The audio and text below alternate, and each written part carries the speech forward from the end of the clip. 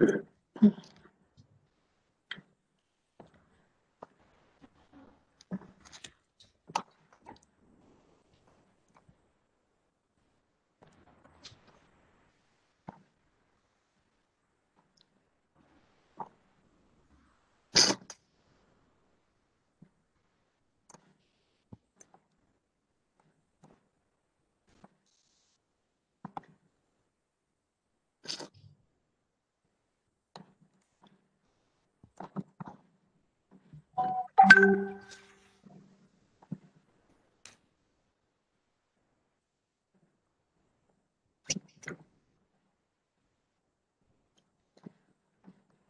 Wih, nak letak background kat belakang tu. Kak Tana pergi kat video. Pergi dekat video. Ha? Sekarang okay tak ah, ni ah, apa? Ada ada training lagi ke ni? Training. tak, ini Kak Tana ada tak ah, gambar yang dalam JPEG punya? Hmm. Saya pakai background real je. Kenapa tudung saya macam sengit kat lagi? Ah, Kak Tana dah ada. Tak ada pun. Tak apalah. Nanti tertukar benda lain mati.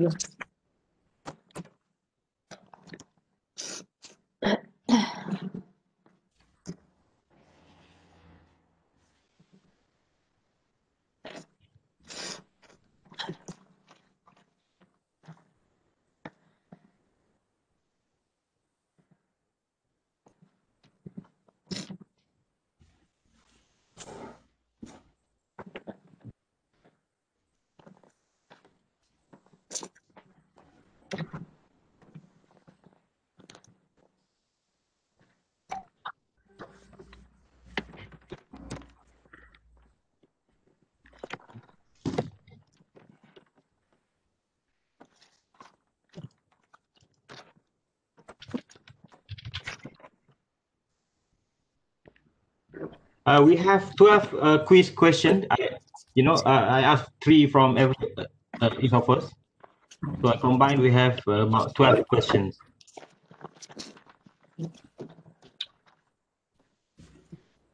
Um, multiple choice and also true or false. Oh, for.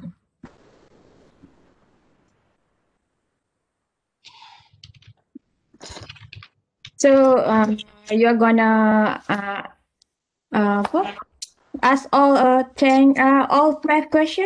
Yes, yes, yes. Uh, I will share the quizzes and the quizzy, quizzy, and then uh, I will ask the question. I will host that thing. Actually, I'm the host today. Yes.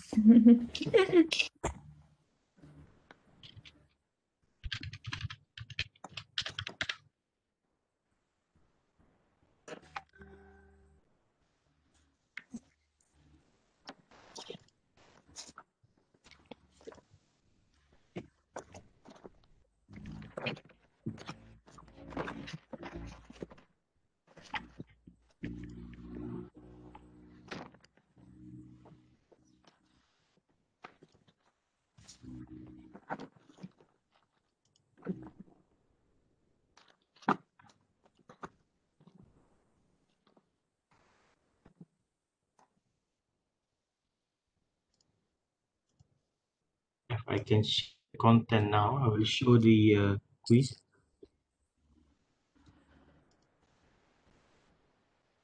So we are using Quizzy.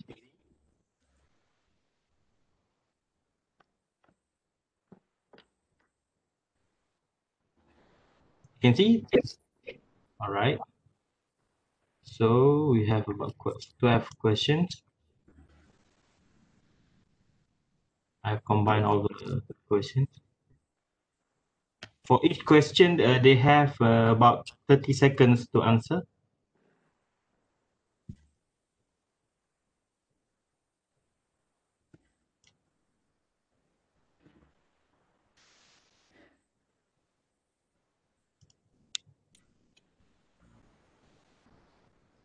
For online uh, class or online uh, session, actually it's better to use Quizzy rather than uh, Kahoot.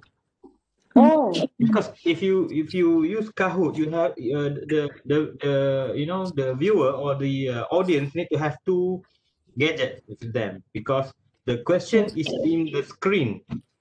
Mhm. But they have to answer using their phone. Yeah, They have uh, if you if they are using only phone, it's difficult for them because they have to need they need to have two windows to answer.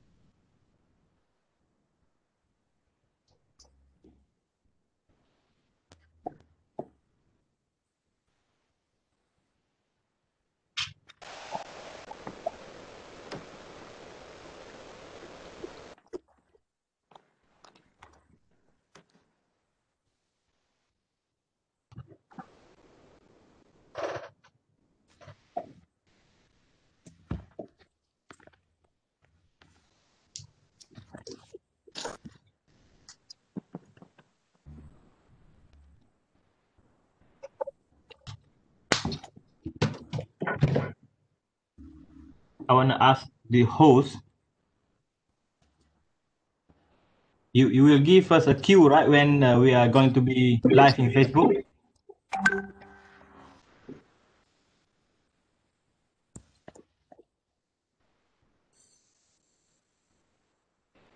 The host is not answering yet.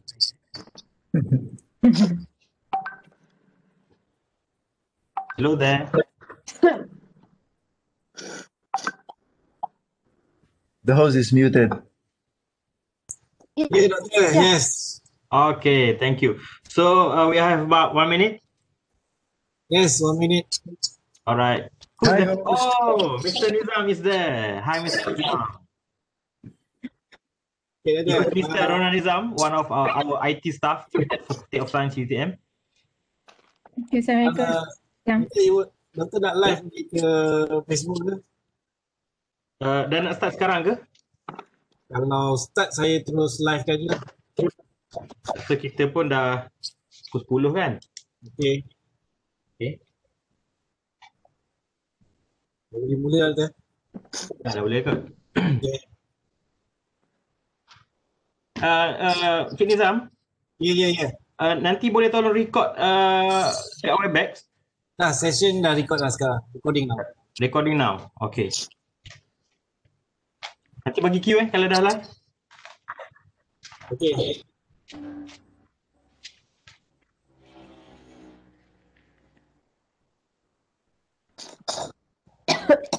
Bagi countdown ke?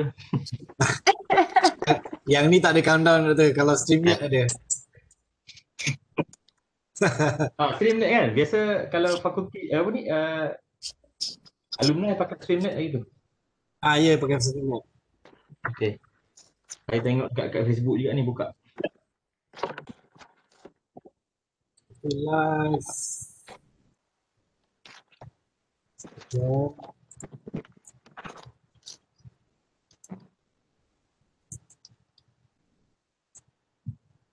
Sekejap eh.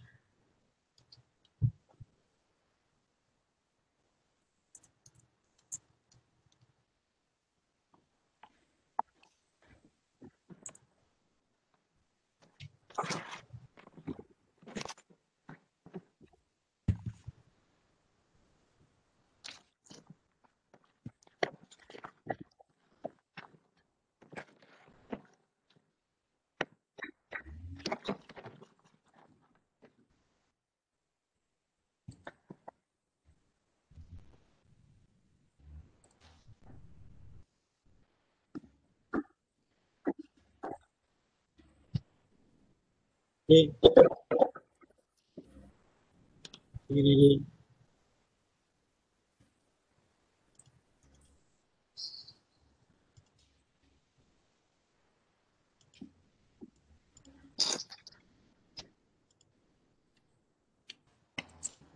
Still loaded. I think the browser ni ada problem lah. Eh, tak apa tak apa. Take your time. Okay.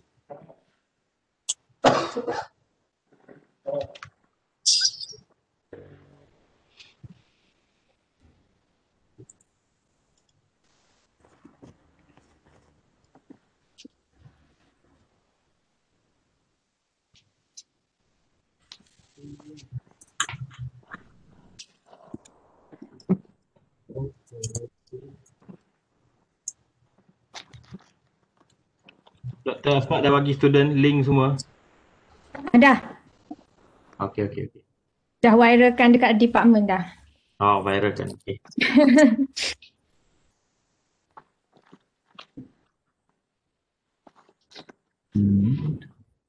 Dr. Joy, how, how long have you been there at UBD? Uh, 16 years. Wow. I'm sure that you have learned Malay, right? Nada, zero. Kosong, kosong. Kosong. So, yeah, But because uh, uh, certain, we have certain uh, words in Bahasa Melayu is similar with uh, in Tagalog, right? yeah, that's quite a lot. Yes. Anak, like, like anak. We're Okay, Going live now. all right. Three, two, one, start.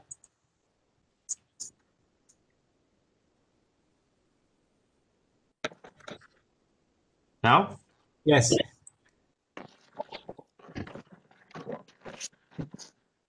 okay. Uh, Assalamualaikum and a very good morning to all the audience of the online global classroom. Um, today we're going to learn about voltammetry, a practical beginner guide. And um, this online global classroom is specially brought to you by Faculty of Science, University of Technology Malaysia, in collaboration with the Bru- University Brunei Darussalam and also University Science Malaysia. All right, together with me, we have uh, our three dis- distinguished uh, panelists. Okay, I would like to um, introduce the first one, Associate Professor Dr. Jose Hernandez Santos, okay, from Faculty of Science, the Brunei Darussalam, and um, Dr. Nurasmat Muhammad Shukri, lecturer of School of Health Science, University Science Malaysia, USM, and also Dr. Tana Lakshmi Paramalingam, a postdoctoral uh, researcher at Faculty of Science, University Technology Malaysia, and me myself, Dr. Faizuan Abdullah, a senior lecturer at Department of Chemistry, uh, Faculty of Science, University Technology Malaysia. All right, today okay, we have about uh, three hours for our class, and then um, the attendance in the form of Google form we will will be given in the the Facebook Live in the comments in the Facebook Live during the session, and after you fill in the Google form, directly you will have you will get your um, e-certificate for this program. And don't forget, at the end of this session, we're gonna have a quiz, okay, for about 12 questions, and the top three winners will be a, will be given a special prizes. All right. What is what are the special prizes? Oh, that is top secret. all right. So um, we we have about three hours. Uh, I, I'm gonna be the first speaker. Gonna talk about the basic uh, thing about voltammetry, and then I will pass the baton to Dr. Joey, okay, Dr. Jose Santos, to discuss about what are the methods uh, involved in the uh, the techniques involved in the voltammetry, and then Dr. Rasmat will discuss about the um, applications of the voltammetry, and Dr. Tanalachmi Paramalingam will discuss about the sensors development uh, using voltammetry technique. All right, are you ready? Okay, and then um, for now, I will start the session for the voltammetry introduction. I will share my slide now.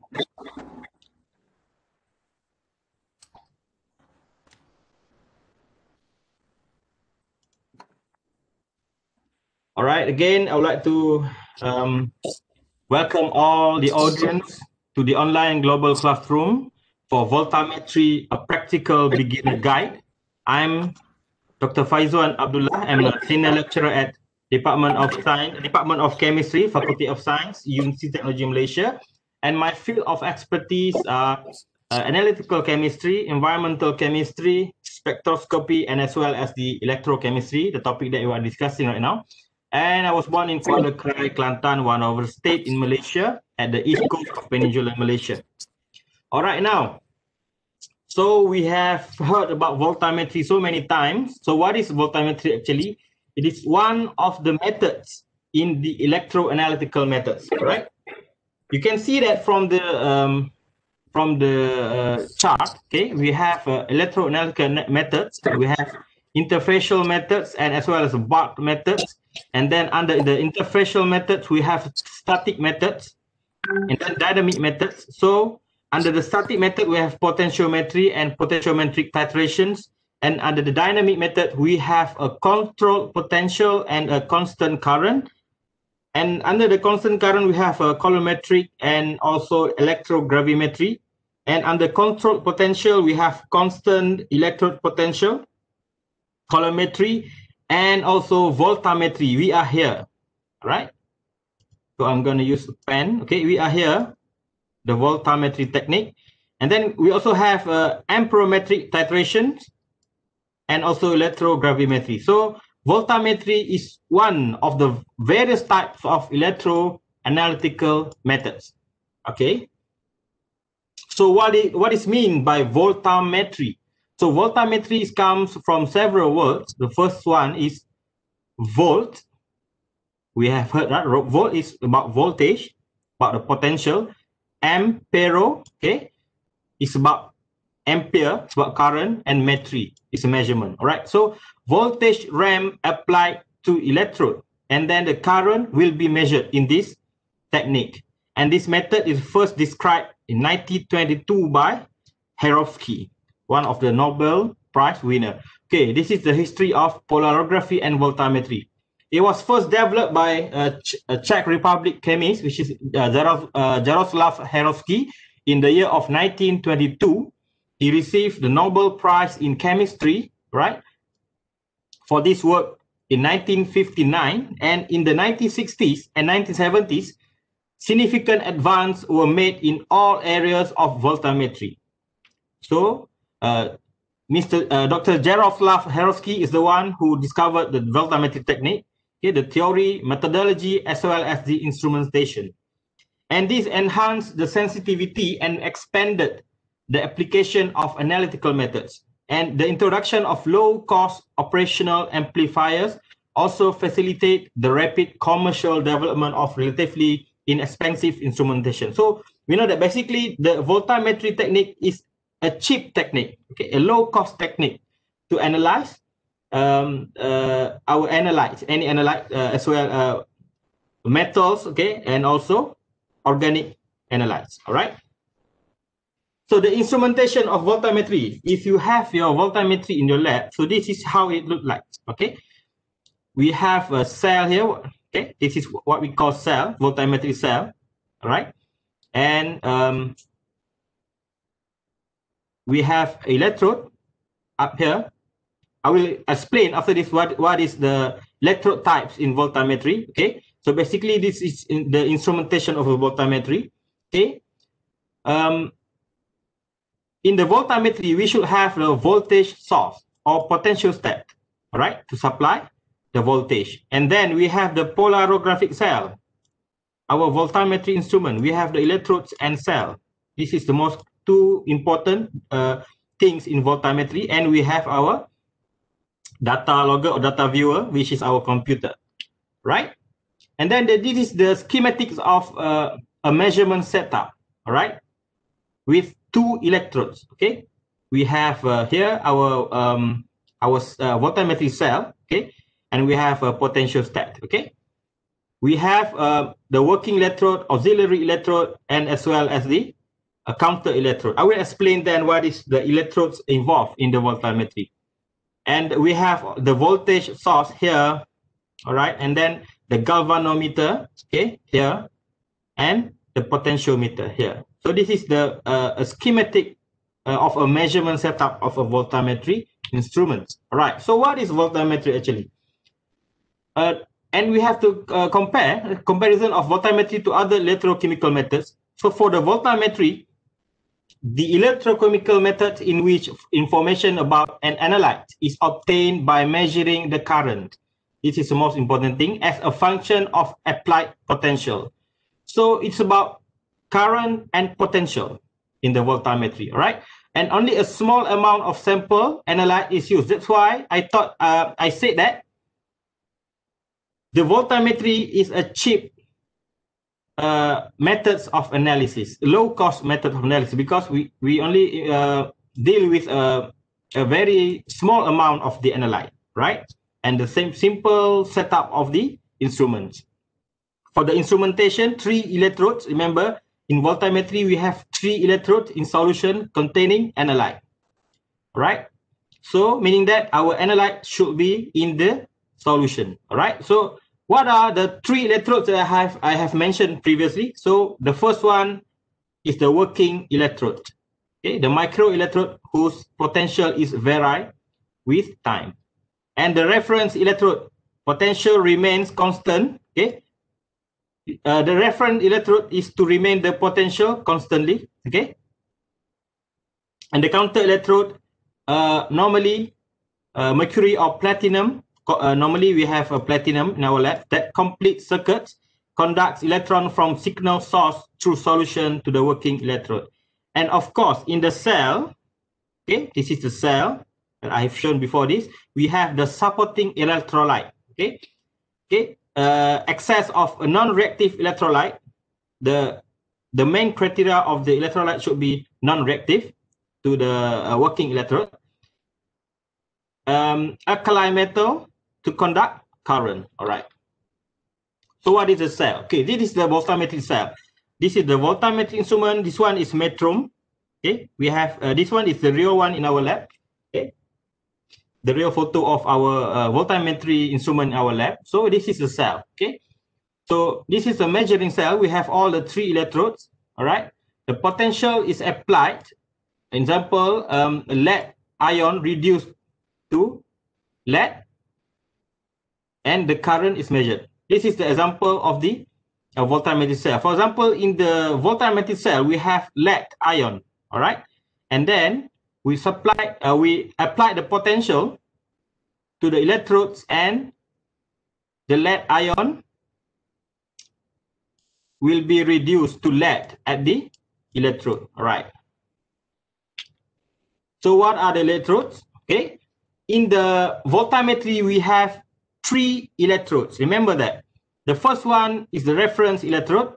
Second one is a counter or auxiliary electrodes. And the main one is the working electrodes. And for the working electrode, we have multi-mode electrodes, okay, MMS, and rotating rotating disc electrodes, RDE. Okay, this is the two uh, types of working electrodes in the voltammetry. So we will discuss further after this, what is the two types of the working electrodes right? So where are the electrodes in the cell? This is the diagram, okay? The auxiliary electrodes is here, okay? And the working electrodes is at the middle one. This is the a multi-mode electrode. Okay. And then the reference electrode normally uh, consists of uh, argentum, argentum chloride, and uh, potassium chloride uh, solution. Okay. Provides the function is to provide stable reference potential. Okay. And the auxiliary electrode is for the comparison of the current. Okay. So the main one is the working electrode. Okay. The, the, the electrode that we use to, to measure the current from the uh, specific uh, potential of our analyte. Okay. So that is the, another example of voltammetric cell. We have reference electrode here, working electrode here, and a counter electrode here. Okay. All right. And um, normally in the voltammetric cell, we need to stir the so um, the electrolyte and the analyte inside the cell. Okay. For this one, for this instrument, they have a magnetic stirrer, but we have another type of stirrer that I will show after this. Okay. Normally in the voltammetry, we need to purge the solution with nitrogen because normally in, in any solution, in our analyte as well as in our electrolyte, we have a dissolved oxygen that, that we don't want it to be um, there inside our solution because the dissolved oxygen will disturb the measurement. Okay, we oxide the working electrode. We will oxidize the working electrode. So we need to purge before the measurement happen. We need to purge the solution with the nitrogen first to remove all the dissolved oxygen inside the solution in the voltammetry cell. All right. So for a few minutes, we purge with nitrogen and we can assure that all the dissolved oxygen have been removed. And then we start our measurement using the voltammetry. All right, so the reference electrodes, the requirement for the reference electrode actually is provide a reversible half reaction with a Nernst equation. The potential must uh, uh, doesn't have change in the experiment, okay, and is constant over time and it is easy to assemble and maintain. This is requirement for the reference electrode. And the function is to provide stable reference potential and potential difference between the working electrodes and the reference electrode. Okay. For example, we have a silver, silver chloride reference electrode. Um, the potential is determined by the reaction. And we have also saturated calomel electrode, SCE, and the potential determined by this reaction. Okay, we have two chemical reaction here. Right, this is how the reference electrode works. Right. Okay, this is uh, the real uh, reference electrode that we use in the uh, voltammetry cell. Okay, this one is uh, argentum, argentum chloride, and uh, potassium chloride with three molar. Okay, where are the solution inside this? Inside the tube. Right? And the double junction system with exchangeable electrolyte, okay? We can remove. You can see this is a, a it's like a screw cap, right? So the solution is inside here. So we just put and then um, tighten the screw, the cap here, like a screw, right? Okay, the second one is the counter or, or auxiliary electrode. So what is it? It is an electrode used in an electrochemical cell for voltammetry analysis or other reactions in which an electrical current is expected to flow. And distinct from the, reference electrode, which establish the electrical potential against which other potential may be measured. So re remember, the auxiliary electrode is, is used, all right, to maintain the current measurement, all right? And the potential is opposite in sign to the working electrode and its current and potential are not being measured, all right? So often has a surface area much larger than that of the working electrode to ensure that the reaction occurring on the working electrode are not surface area limited by the auxiliary electrode. And the function is to ensure that current does not run through the reference electrode, right? In the three electrode system, which would disturb the reference electrode's potential current flow between working and auxiliary. So um, the most important uh, electrode is the working electrode, but both auxiliary and the reference electrode is to stabilize the potential and the current so that the measurement uh, of the analytes can happen smoothly. So two type of um, auxiliary electrodes are available, the platinum and the glassy carbon.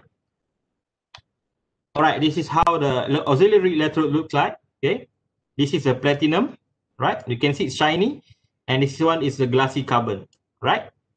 It's made from carbon. This one is platinum, and this one is the glassy carbon. And it's depend on the application, right? So now um, we come to the most important electrode in the voltammetry, which is the working electrode. So what is it? So the electrode in an electrochemical system on which the reaction, okay, interest, the direction of interest is occurring. And the anodic sweep, when anodic sweep is act as a, an, an anode, in the cathodic sweep, it will act as the cathode. Okay, the function is to study the direction of the interest, our analyte, and is often used in conjunction with the auxiliary electrode and a ref reference electrode in three electrode system.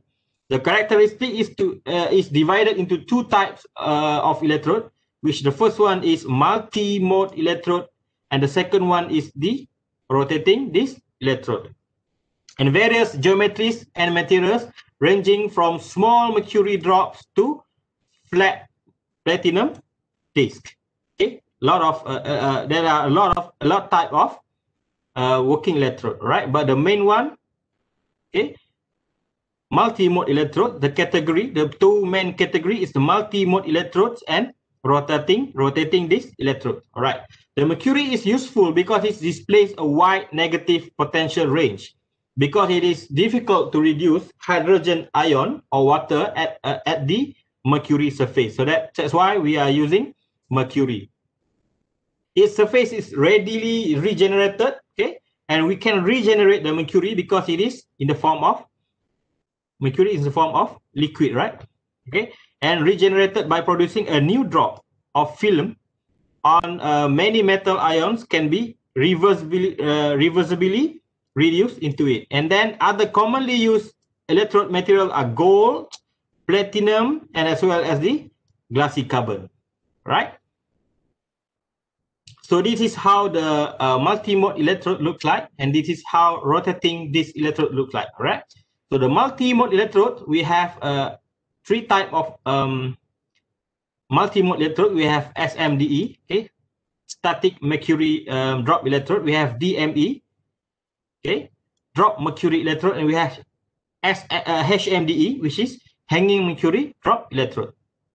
And for the rotating disc electrode, we have glassy carbon, uh, gold, uh, um, silver, platinum, and so on. All right. So now we uh, discuss about how mercury works as the working electrode. Okay, it can be exist in many forms and composition, in solid, thin film, disc, uh, DME, which is discussed as drop mercury electrode, hanging mercury drop electrode, carbon paste, and um, CME, right? Although um, it is toxic, mercury is toxic, but it has a large potential difference between uh, 0.4 to negative 2.0. It's a very large window of potential. Okay, at uh, 0.4, mercury will be oxidized more than that, more than 0.4.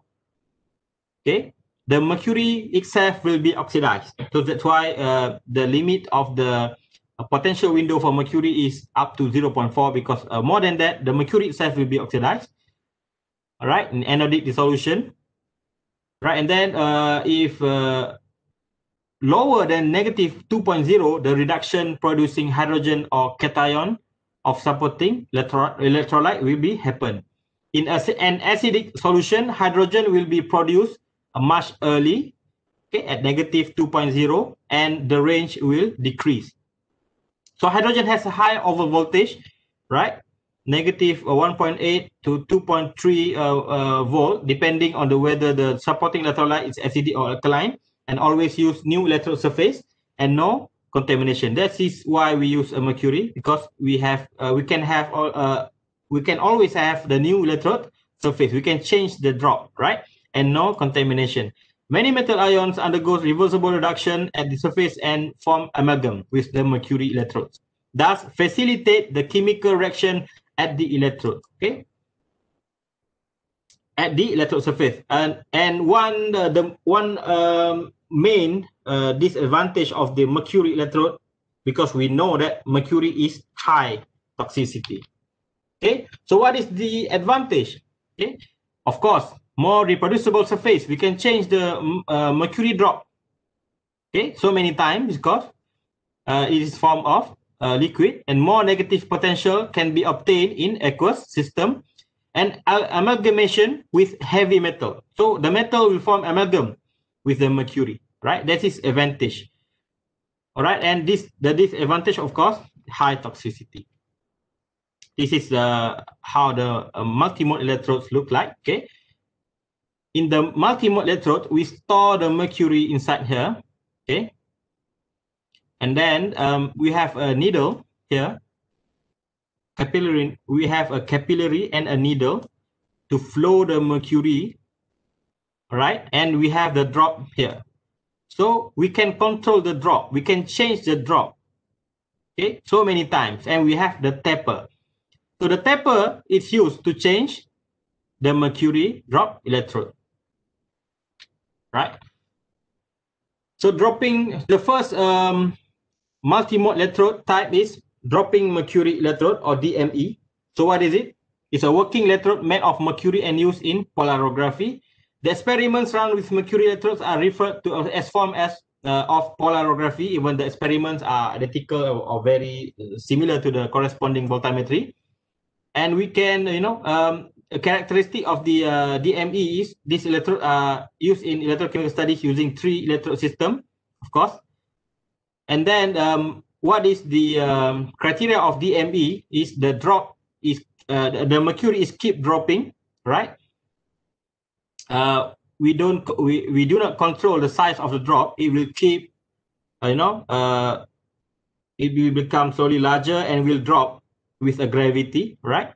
So the size is keep increasing and will drop after it's uh, at the maximum size. So uh, we don't control the size of the ME, right?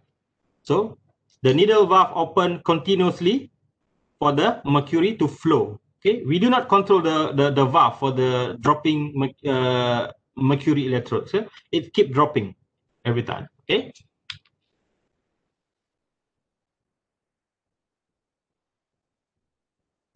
All right. Um, so um, the structure is a flow of mercury pass through an insul insulating capillary. Here, the capillary, right? As I mentioned, uh, producing a droplet which grow from the from the end of the capillary in reproducible way. So it, it keep growing and we become larger, it will drop.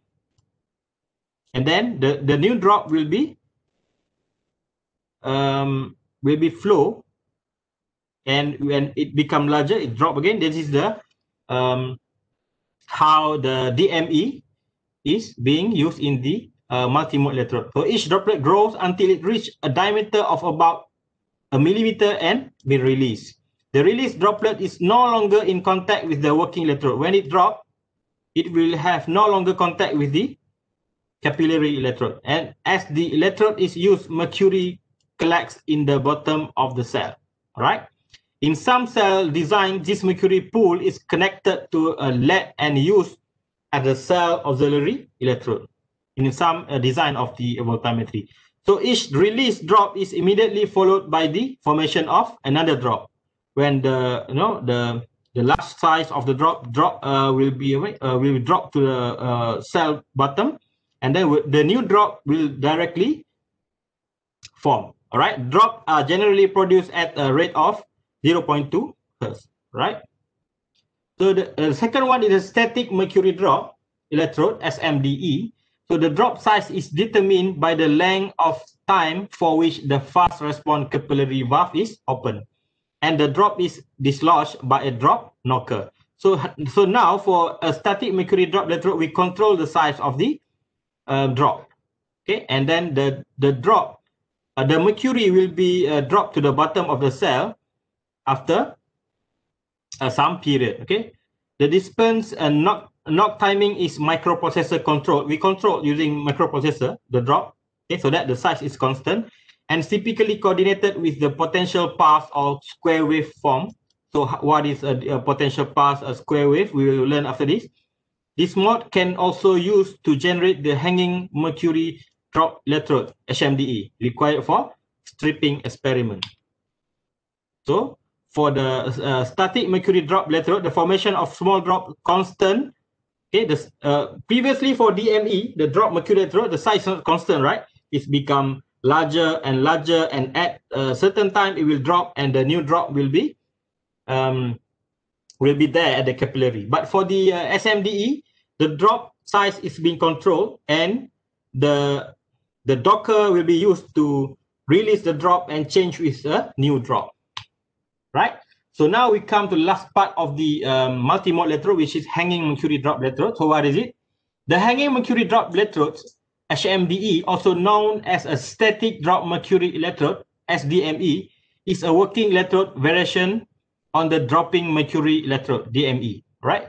So it's quite uh, similar with DME, but uh, the hanging mercury drop electrode, we can control the drop, okay? For one drop, okay, for uh, one voltammogram for uh, one drop is used for one voltammogram. Okay, so that um, in hanging mercury drop electrode, we control the drop. Uh, we can change it for another experiment and a- another voltammogram, and um, uh, it's quite difficult. Uh, it's quite different with the uh, dropping mercury electrode and uh, uh, static uh, drop mercury electrode because in the drop mercury electrode we don't control the drop. It's keep dropping when the size of the drop is larger and for the static drop mercury electrode is also drop uh, with a certain time with a control size of the drop. And for mercury hanging mercury drop electrode we completely control the mercury drop. We can change it uh, in um, in every experiment or every voltammogram that we want. So normally we use one drop for one voltammogram for hanging mercury drop electrode. All right so so this is uh, the, the, the difference okay, of the DME, dropping mercury drop electrode, SMDE, static mercury drop electrode, and HMDE. Okay, so the drop time for DME, the drop time synchronized with the potential step time. So the drop area grows uh, during a current uh, measurement. Okay, so we can see the voltammograms like this, right? Um, for SMDE, drop the uh, drop time synchronized with the potential step time and drop area constant during the current measurement. And for the HMDE, only one drop. Okay, and then we can change the drop for another voltammogram.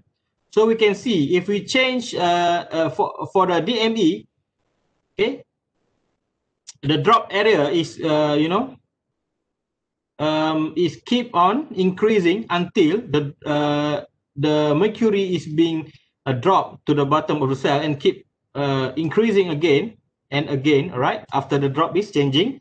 And for the static mercury drop electrode, the drop area, because we control the drop size, okay, so drop the area is constant at one, uh, at one um, size, okay? And then we change. It's not it's not similar with the DME because it's keep on increasing. The size is keep keep on increasing, and uh, for the new drop, okay, will increase again, and we change. Uh, uh, the the drop is changing, and the drop size is uh, increasing again for the drop area uh, for SMDE. So we can see the constant size of the uh, drop area because we uh, we control the size of the mercury drop. It is it is not uh, keep on dropping like DME, okay? Because we control the size and the time to uh, for the uh, for the uh, mercury to drop, all right? And for HMDE, it's only one drop for one voltammogram, right? So um, the concentration of the analyte, okay, different for for every um, every single multi-mode electrode, okay? For the ME, okay, the range of the uh, analyte concentration is ppm part per million. Okay, for static mercury drop electrode, the range of the uh, analyte concentration is low ppm, low value of part per million. And for HMDE and rotating disc electrode, okay, for hanging mercury drop electrode and rotating disc electrode, All right. Um, we can measure the analyte up to part per billion and until part per trillion, right? A very small concentration. Okay. Now we, we, we can see how the uh, mercury uh, being dropped. Okay. Let's see the video.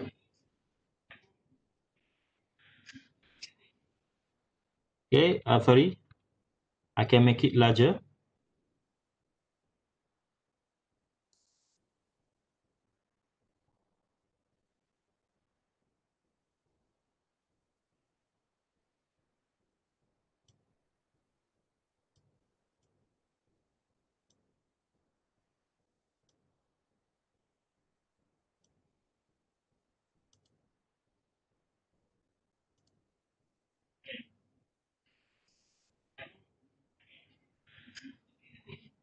Okay, the, the this is how the mercury drop change, and the uh, in the cell we can see how the the solution in cell is being stirred. Okay. Oh, the video is upside down. Upside down. Sorry. Need to change. Uh,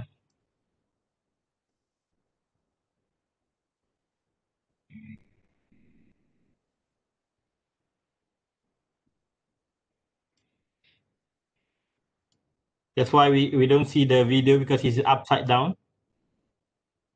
Let's play again. All right. All right. Okay, that is a mercury drop electrode. You can see that?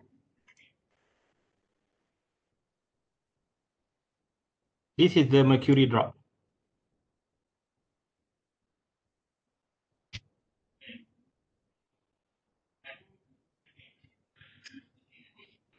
Right? One more time, I play.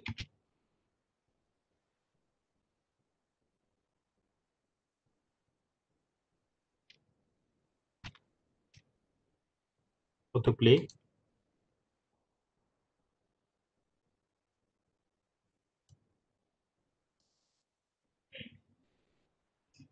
Right, that is the mercury drop electrode.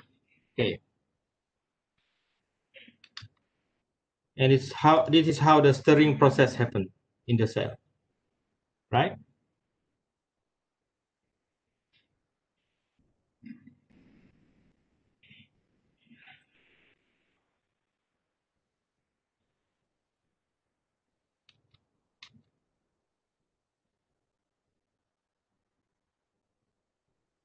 So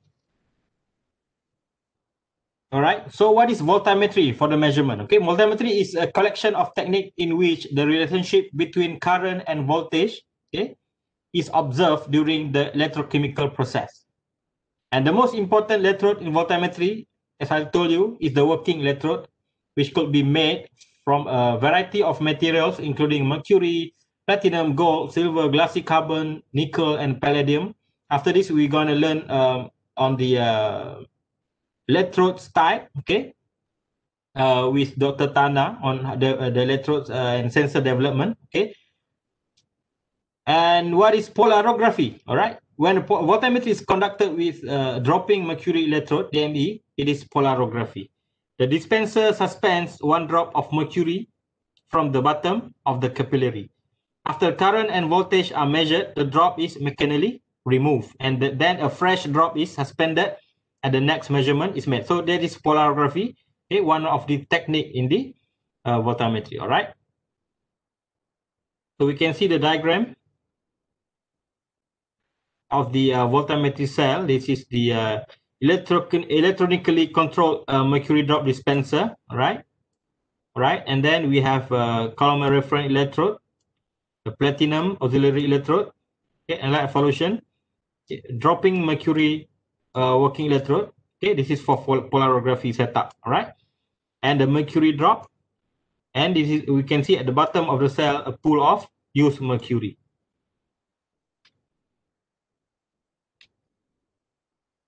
All right, in the polarography experiment, okay, using DME, the voltage scan, the potential is varied with the time, and after each new drop of mercury is dispensed, the voltage is made more negative, right? And the current during the lifetime of the drop is the uh, the current oscillates permanently between a minimum and maximum VAF.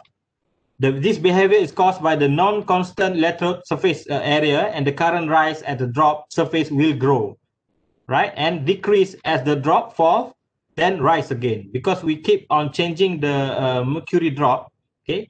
Until the drop is being, uh, you know, uh, un- until the mercury um, surf- uh, mercury drop is being uh, released to the bottom of the cell.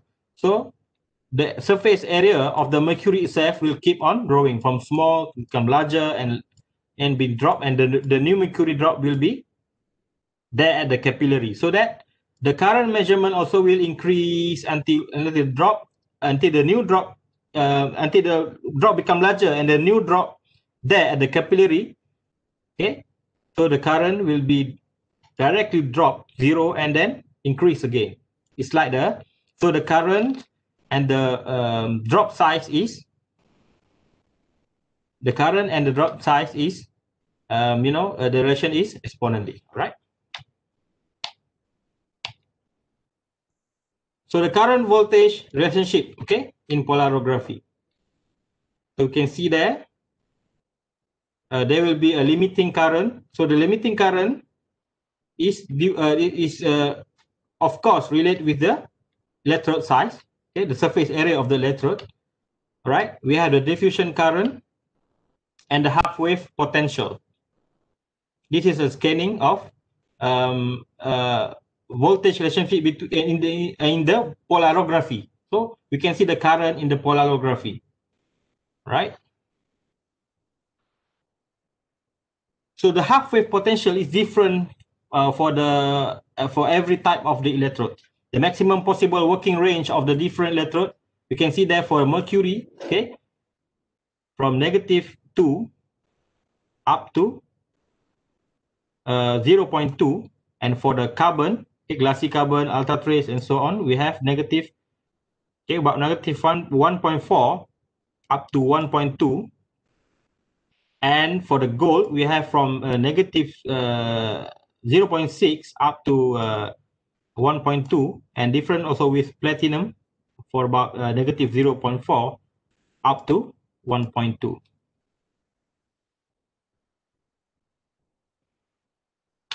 So the rate um, at which analyte diffuse from bulk solution to the surface of the electrode is proportional, right?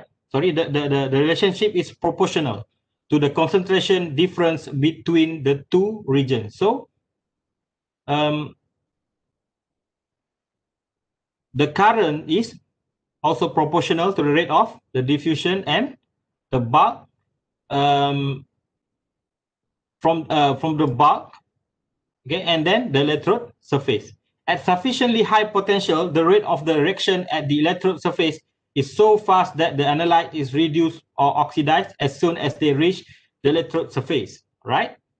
So thus the limiting current is equal to the diffusion current right the limiting current is called the diffusion current because it is uh, controlled only by the rate at which analyte can, can be diffused to the electrode.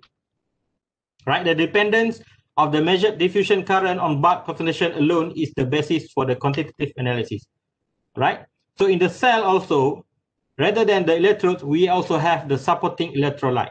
Right, so what is the supporting electrolyte? This is an electrolyte containing the chemical species that are not electroactive it is important to make sure that our electrolyte, okay, electrolyte is not electrochemically active with the because we don't want our electrolyte react with our electrode because uh, the current we need to measure is from the analyte, not from the electrolyte. So the supporting electrolyte has greater ionic strength and conductivity. Of course, we need uh, uh, the electrolyte that have, uh, you know, uh, conductivity a great conductivity because we need um, our electrolyte to be electrochemically active. All right. And usually the concentration of the supporting electrolyte will be uh, from 50 to 100 times greater than the analyte. All right. The supporting electrolyte responsible to mass matrix interference due to the different in background ions in the sample. And the supporting electrolyte is widely used in electrochemical measurement when control of potential is required. This is done to The first one is to increase the conductivity of the solution, and then to eliminate the transport of electroactive species by ion migration in the electrical field, and then to maintain the constant electronic strength, and as well as to maintain the constant pH of the solution. All right. So the role of the supporting data like this to provide the solution to be studied with some conductive properties, right? And then uh, the, the solution to be studied is mainly either non or poor conductive and make it practically impossible to pass electrical current between electrodes immersed in that solution, right? And to suppress the migration. The potential difference between electrodes immersed in solution and present of an electrical field, right? So, so the main thing of the supporting electrolyte is, is uh, we need it to support our analyte, right? Um, and not um, disturbing the reaction with uh, reacting with the working electrode. It's only to support. That's what, uh, what we call supporting electrolyte. It should be, uh, it should have a great electrochemically, um, you know, active and it should be uh, a conductivity. Um, it should have also a, a, great conductivity properties, right? So the, uh, the, the, the migration of particle in the solution, uh, especially in the cell, in the voltammetric cell, it will be happen in three ways, okay? The first one is convection, the force uh, convection of analyte towards the surface of mercury electrode by the action of the stirring magnetic uh, uh, stirring. I show you the, the stirring process before this in the cell. And also um, using a magnetic stirrer. And before experiment and during the experiment. It will be on before experiment and the stirring process must be off during the experiment, right? And uh, it also can, uh, the migration of the particle in the solution also could be happen uh, using migration. The moving due to the attraction force of the electric field generated by the electrode towards every ion having opposite charge, right? That is um, the migration of particle uh, through migration. And the third one is uh, the migration of the particles in the solution through diffusion, okay, where the spontaneous movement of the of those chemical compounds subjected to the concentration gradient, right? So um, there are also a lot of um, techniques involved in the voltammetry. So um, to learn more about the techniques in the voltammetry, so I pass the baton to Dr. Joy or Dr. Associate Professor Dr. Jose Hernandez Santos to discuss about it. And uh, thank you um, for the first part, for uh, listening to for the first part of the uh, online global classroom. Now we will have Dr. Joy. Are you ready? Oh, yes, yes. Thank you very much. Okay. So Dr. Joy, you can share your slide now. All right. Um, can you see my slide now? Not yet. Oops. All right, I'm sharing it already. Share screen two.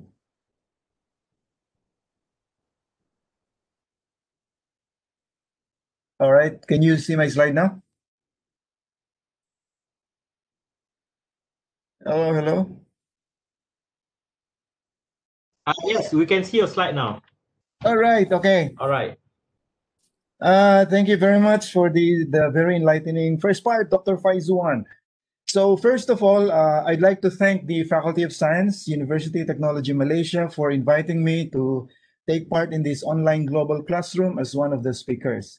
And it is actually very encouraging and inspiring for my part to be able to interact online uh, with students and staff from uh, other countries, particularly Malaysia. And I think we have uh, students also from Brunei and the Philippines. All right, let me get my pointer. All right. Okay, let me begin from the very basic of voltammetry. I think you already know that in, vol in voltammetry, we change the potential, and as we do that, we measure the current, right? So this is the main idea in voltammetry. And there are actually many possible scanning modes. There's many, there are many ways by which we can change the potential. While, and while we do that, we can actually monitor the current. And I'm going to discuss it later. Now, also, we ha- you have learned that there are many types of electrodes. We have the most popular probably is the mercury electrodes, but we can also use platinum electrode and all other uh, inert metals like uh, silver, gold, palladium, and also the carbon-based electrodes are very popular, like glassy carbon electrode and the carbon paste. Right, and also this voltammetry is used both in qualitative and quantitative analysis and uh, we can actually use the voltammogram. Uh, by the way, the plot of potential versus current is called voltammogram. So the technique is called voltammetry and the plot is called uh, voltammogram. And the, voltam the voltammogram can be used for qualitative and quantitative analysis. So the limiting current, for example, is used for quantitative analysis and the position of those current would be used for qua qualitative analysis. And you have also learned that it uses a three electrode arrangement. So I'm not going to expound more on that one. So in real life, this is how a voltammetric setup looks like. And as Dr. Faizuan mentioned, when you are using the dropping mercury electrode, there's a special term uh, for that voltammetric technique, and that is what we call polarography. So we only use polarography if the if the electrode is the dropping mercury electrode. But all other voltammetric techniques use all other electrodes. So this is the voltammetric cell, and as you can see, these are the three uh, electrode used in voltammetry. We have the one of these is the working electrode, the reference electrode, and the counter or auxiliary electrode. And you have learned also the purpose of using three electrode system in voltammetry. So I'm not going to discuss that any further. And this is your solution cell, and this is your cell containing the solution. And as you can see, there are many ports in this typical voltammetric cell. And this is uh, for introduction of the sample. For example, you want to spike standards into your sample. So you can add uh, standards using these ports. And also you can actually use the port to bubble nitrogen or argon through so you can remove the oxygen. And I think Dr. Faizuan already mentioned the purpose of removing the oxygen. It's because it's in itself an oxidizing agent and it interferes with the voltammetric analysis.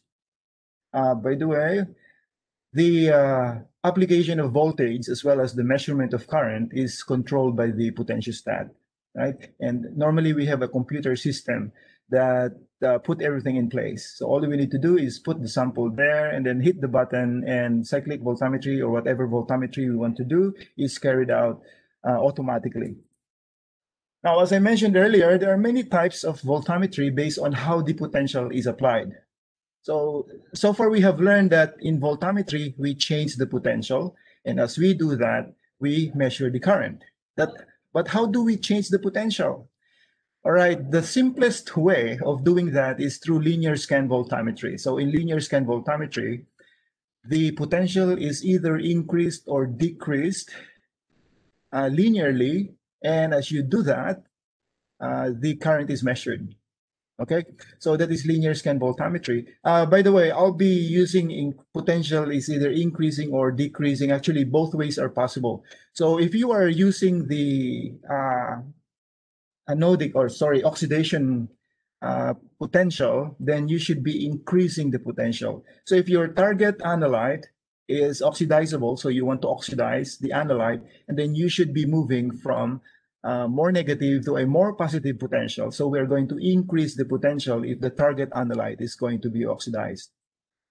If the target analyte is going to be reduced, then the direction is from higher value to a lower potential value. So these two approaches are both possible in voltammetry. We can either oxidize or reduce, all right? So in linear scan voltammetry, we linearly increase or decrease the potential. Now, there's a variant in linear scan voltammetry, which we call cyclic voltammetry. So this is actually a combination of two linear scan, because what happens here is uh, the, from the initial potential, you go to a final potential, and upon reaching the final potential, you go back to the initial potential. So as you can see, there's one cycle here. So initial, final, and then go back to the initial again. And you can do that several times depending on uh, how you want to study your analyte. So we call that cyclic voltammetry. So more than one cycle, we do we call that a multiple cyclic voltammetry. Now, another approach in applying the potential is through pulse uh, voltammetry. And we have differential pulse voltammetry or square wave voltammetry. And as you can see, there is actually, in general, the potential is increasing, or as they say, decreasing. But on top of that, there are pulses. So I'm going to explain later what are these pulses for. But uh, if you, uh, sooner or later, you will actually observe that the the analyte will either be oxidized or reduced because you are increasing the potential. But there are actually significance how these pulses affect the result. All right, going back to cyclic voltammetry, this is the potential program in cyclic voltammetry. As I said earlier, there is a starting potential, and then we change the potential and we call that the forward scan to the uh, final potential. And upon reaching the final potential, we call that the switching potential. We go back to the final, to the initial potential again. And the way the potential is changed is based on what we call scan rate. So one of the parameter in doing voltammetry is you actually uh, use some scan rate. The scan rate is how you, the rate of change of potential. So for example, your scan rate is 100 millivolt per second right? So if you are scanning from zero to 1000 millivolt and then go back to zero, then if your scan rate is 100 or 100 millivolt per second, then after one second, your potential should have increased by 100 millivolt. And so if we are looking at 1000 millivolt at the switching potential, then it will take us 10 seconds to move from zero to 1000. So 10 seconds would be the forward scan, and another 10 seconds would be to move from 1000 millivolt to zero millivolt. And that is what we call the reverse scan. So in total, we have 20 seconds to complete the cyclic voltammetry experiment. Now, at this point, I'd like to explain the potential window, which is partly actually explained by Dr. Faizuan already. Uh, this is very important when we are performing voltammetric experiment. This is uh, the electrochemical window, and this is the voltage range uh, wherein the supporting electrolyte or the electrode doesn't get oxidized nor reduced. It is very important that there is no interference in your analysis with the supporting electrolyte or with the electrode itself. And uh, this is an example of a electrochemical potential window. So as you can see, there's anodic limit and cathodic limit. So we normally perform this without the analyte. So it's kind of a blank. And so when you do the blank, that means just the supporting electrolyte and the electrode that you're going to use. And you see the anodic limit. That means beyond this point, either the electrode or something in solution, something in your supporting electrolyte is oxidized already. And on the other side, the cathodic limit, something in your solution or the electrode may be reduced.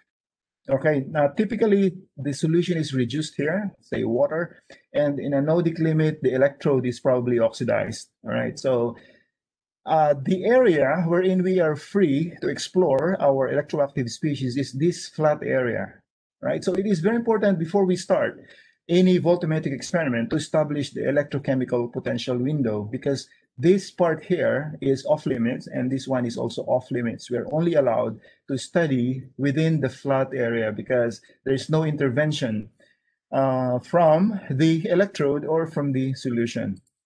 So that is what we call the potential window. And to give you some picture, these are actual potential window from uh, different combinations of electrode and uh, electrolyte. So for example, if you are using a platinum electrode and the supporting electrolyte is one molar sulfuric acid, the flat, the range wherein uh, the electrode is not involved in redox and the electrolyte as well is from here, it's probably around minus 0.5 or 0.4 to 1 point something, right? If you change the electrode, sorry, the electrolyte to NaOH, then you have this range if you're using mercury electrode, and these are the uh, possible ref, uh, supporting electrolyte, these are the ranges. And as you can see, this part here is if you are using an aqueous uh, supporting electrolyte. And here we have carbon or like glassy carbon and perchloric acid supporting electrolyte. This is the range. Now you may be asking, what if I have a compound that is oxidizable uh, beyond this range? So how do I do that? Well, the answer is you can probably try non-aqueous voltammetry. And we can do that by using a solvent, non-aqueous solvent like DMF or acetonitrile. So for example, this is the potential window for tetrabutyl ammonium perchlorate as the supporting electrolyte and solvent is dimethyl formamide. So it's actually very wide. So if you are expecting your analyte to be reduced at this potential or to be oxidized somewhere here, then this is very good to, to be to consider. And uh, yeah, actually a lot of application in voltammetry are in non-aqueous voltammetry. So you can actually, you are not limited to aqueous voltammetry. So again, this is very important that you know the range, the useful range of your electrolyte and electrode combination. Now, this is a typical cyclic voltammogram. So as I mentioned earlier, in cyclic voltammetry, you change the potential from the, the, the start and then to the final potential, and then you go back. So assuming we are trying to oxidize the analyte here for the target species, so we have the starting potential. Uh, typically, the starting potential is a um, potential wherein there is no oxidation or reduction happening in your uh, solution. Uh, because if that potential is already high or already very low to affect the oxidation or reduction, then actually the signal may be masked with something else. So it's not really good to start with something with high current already. So we normally start at say zero current. That means uh, nothing is happening with your analyte. So like zero volt or zero milli- millivolt. And then we start imposing or changing the potential until it reaches a potential value wherein the species can be oxidized or reduced. And of course, during redox, electrons are transferred. And as you can see, current is uh, flow of electron. So whenever electrons are flowing, that means redox is already happening. And that current is uh, picked up here or is measured. So when we are doing an oxidation, we call that anodic peak, all right?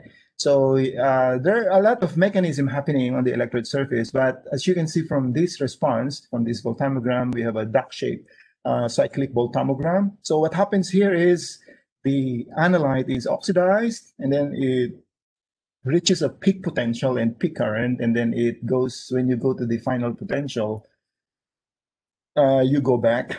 And once the species oxidized here, they are actually the same species that is oxidized is re-reduced. So reduction happens here on the reverse uh, scan. Okay, so this is a typical cyclic voltammogram, and there is so many information that you can uh, derive from this one. So, for example, if this is the oxidation uh, direction, and then we have the peak as the peak potential. So that peak potential is a characteristic of that peak, and also the height of the peak is what we call the peak current. And this is also a characteristic of this particular experiment. And when you go back, there's also a uh, corresponding uh, cathodic peak that is characterized by a peak potential and also peak current. Right?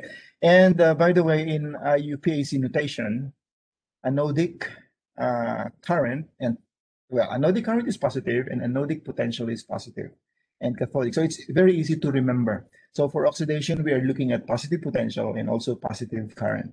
And reduction is negative potential and negative current.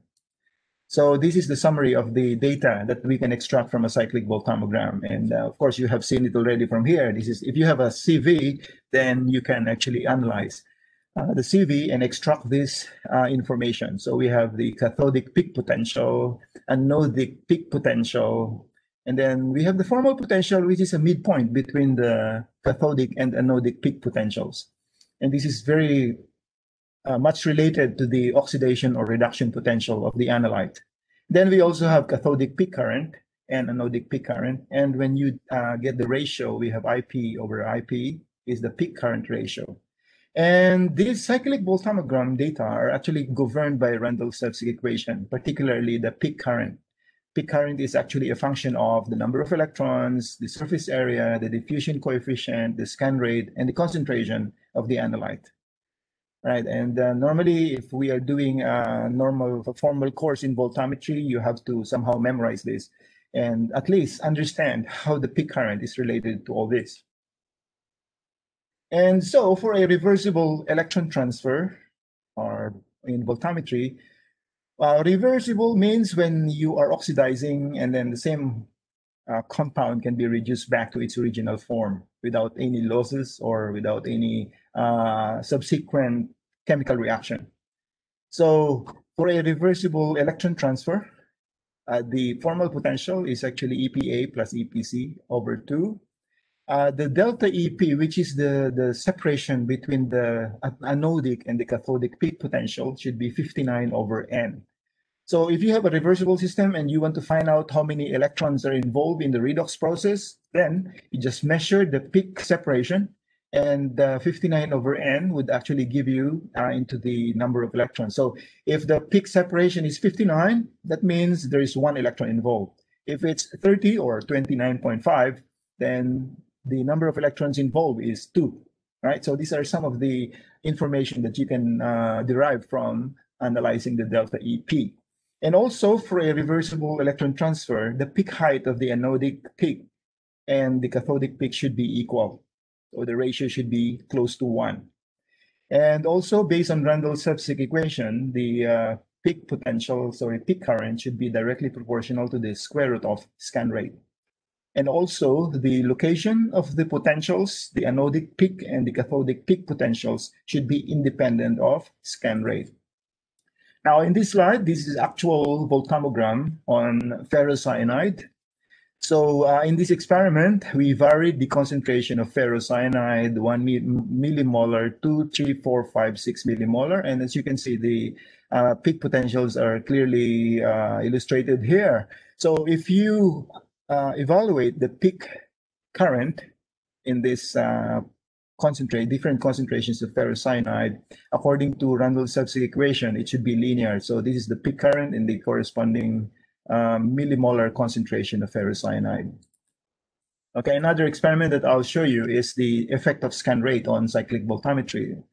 So we have different scan rate, uh, same concentration, and according to Randles-Sevcik equation, the peak the peak current should be directly proportional to the square root of scan rate. So when you plot the square root of scan rate, it should be linearly relate, related to the peak current. So this is how you actually interpret uh, cyclic uh, voltammograms. Now I'd like to move on to uh, how to improve sensitivity and detection limit in voltammetry. Now in typical linear scan voltammetry, the current that we observe is normally composed of two parts.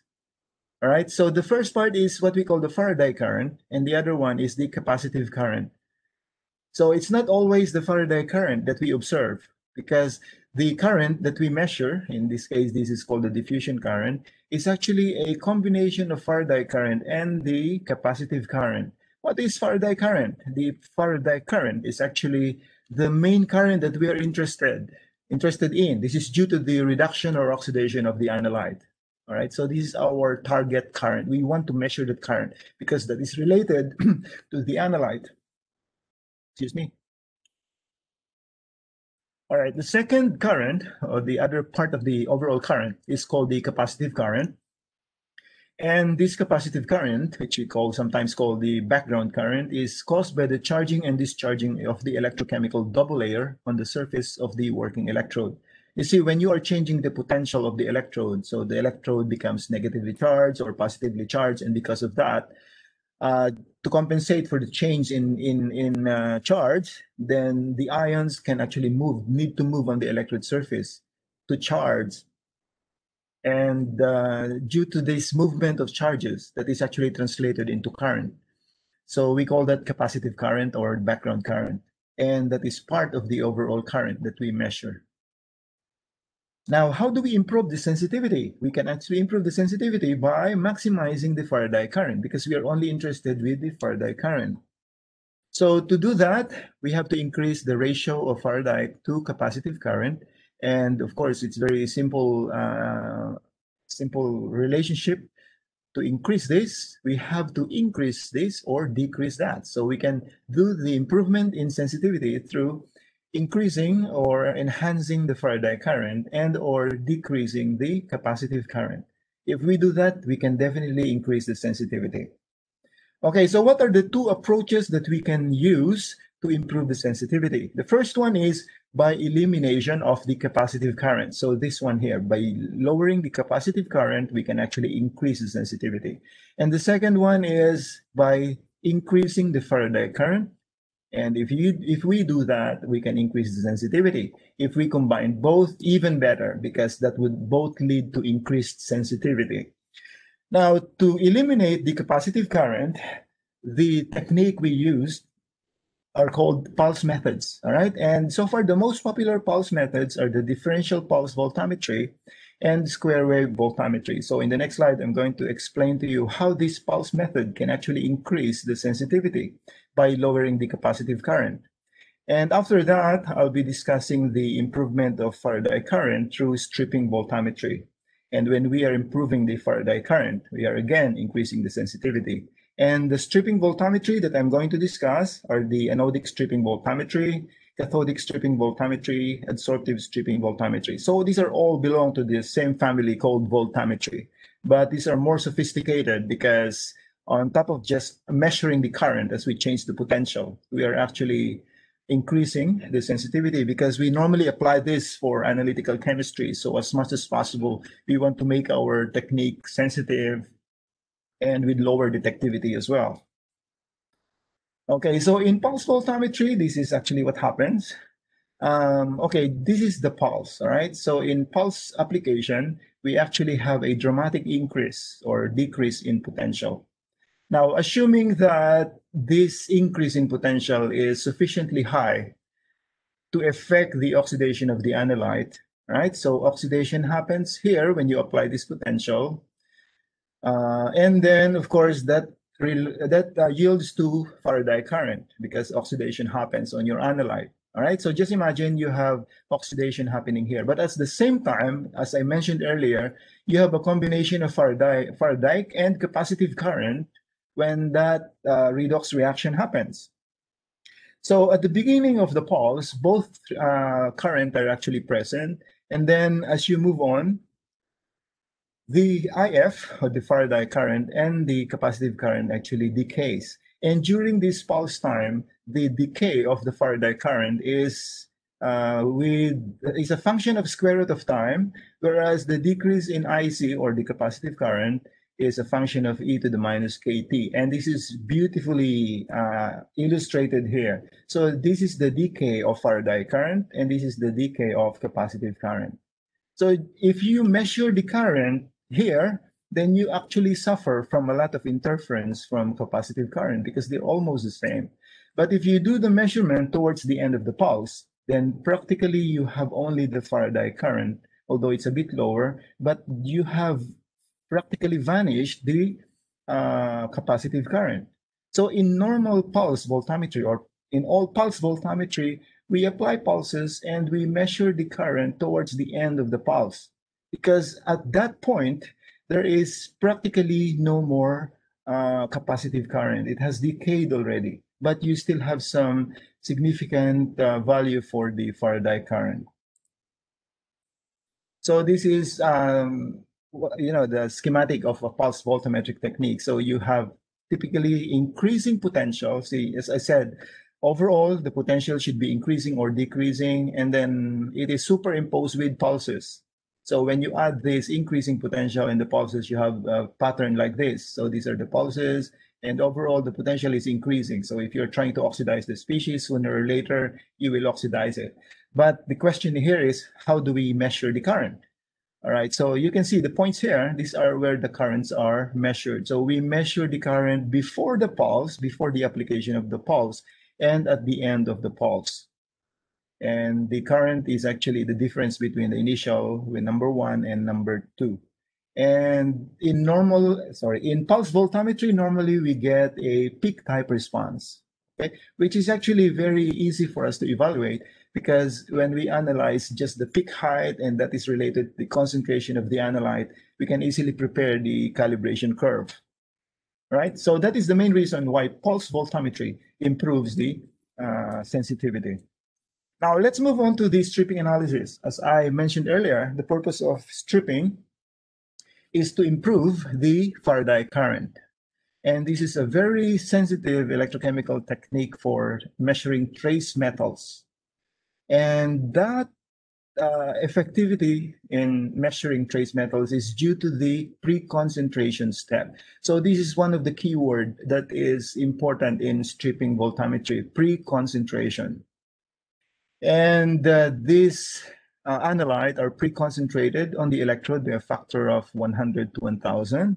And detection limits are lowered by two to three orders of magnitude compared to solution phase voltammetric measurements.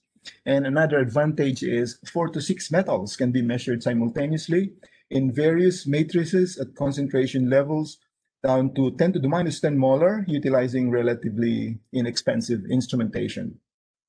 So as far as stripping voltammetry are concerned, uh, we have at least three techniques. Of, of course, there are many other variations, but these are the main stripping voltammetric techniques. We have anodic stripping voltammetry, cathodic stripping voltammetry, and adsorptive stripping voltammetry. So one by one, I'll try to explain to you these techniques.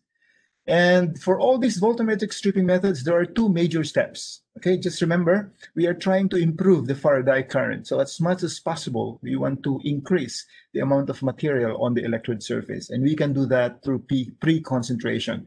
So the first step in stripping method is pre-concentration.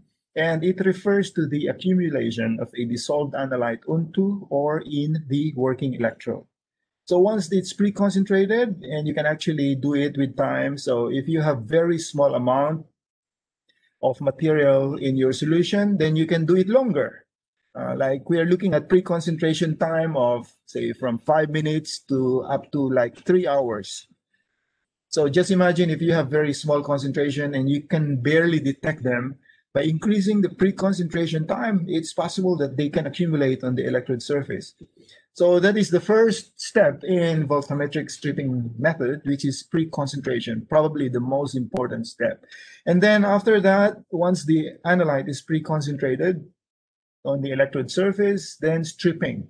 So stripping refers to the subsequent removal of the accumulated substance through oxidation or reduction process. And of course, because oxidation or reduction happens, then the current due to this process is measured, and that is related to the concentration of the analyte. You see the picture?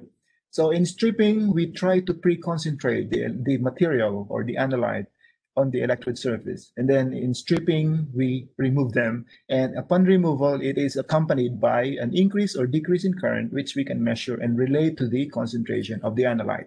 So that is the uh, steps in voltammetry, uh, stripping voltammetry. Now, how do we pre-concentrate? You might be thinking, okay, uh, how do we pre-concentrate the analyte on the electrode surface? You see how we wish we can actually talk to the molecules. Because if we can talk to the molecules, we don't have to invent all these methods uh, anymore because all we need to do is talk to them. We can tell the analytes, hey, can you please gather on the electrode surface because we want to analyze you. Please gather because uh, our sensitivity is not enough for very few of us on the electrode surface. So of course, we cannot talk to the molecules, but uh, we can actually pre-concentrate, pre-concentrate them through chemical means. All right. So these are modes or ways of pre-concentrating the analyte on the electrode surface. Number one is reduction of metal ions on a mercury electrode and dissolution of metal atoms in mercury. So this is actually uh, what happens in a anodic stripping voltammetry. Dr. Faizuan mentioned about the mercury electrode, right? And his example is on lead. And so what happens in this uh, approach when you are accumulating or you are pre-concentrating lead on the mercury electrode is you apply some potential which is enough to reduce so it should be sufficiently negative to reduce uh, lead 2 plus to lead 0 and because lead metal is metal and it's soluble in mercury it actually they accumulate as they are reduced they accumulate on the electrode surface and if you do that continuously with time, then there would be more lead metal accumulated on the mercury electrode. So that's one way of pre-concentrating. Another way is electrode deposition, very similar to number one, but this one is on inert solid electrode. So if you are using a glassy carbon, for example, you can also uh, deposit uh, after electrochemistry those materials uh, that are insoluble in water. Uh, and once the redox happens on the electrode surface because they are insoluble in water, they will actually accumulate on the electrode surface because that is where the, the reaction happens. And also chemical reactions of compounds with electrode material producing insoluble products that accumulate on the electrode surface. Right, so we don't really need redox prior to uh, stripping. We can actually have a chemical reaction happening uh, near the electrode surface.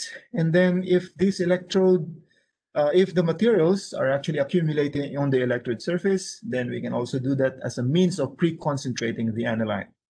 All right.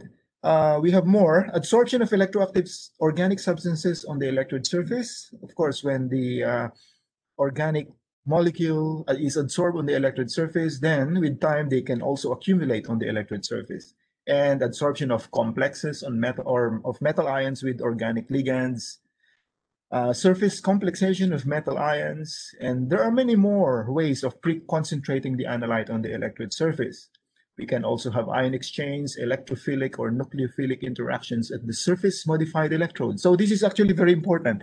If your electrode is modified with like electrophilic or nucleophilic functional groups, and then the moment you immerse that electrode in a solution containing those substances that can be attracted by these electrophilic or nucleophilic uh, functionalities on your electrode, uh, before you know it, they will be accumulating on the electrode surface. So these are ways of pre-concentrating the analyte on the electrode surface. Now, uh, let's uh, discuss now the anodic stripping voltammetry using the mercury electrode. All right, this is probably the most used form of uh, um, most uh, popular electrode for stripping voltammetry or anodic stripping voltammetry, the mercury electrode. And thi- this is because of the solubility of many metals in mercury. And the metals are pre-concentrated by electrodeposition, as I have mentioned earlier, on the mercury electrode. And how do we do that? Well, we deposit the metal cathodically. So this is an example.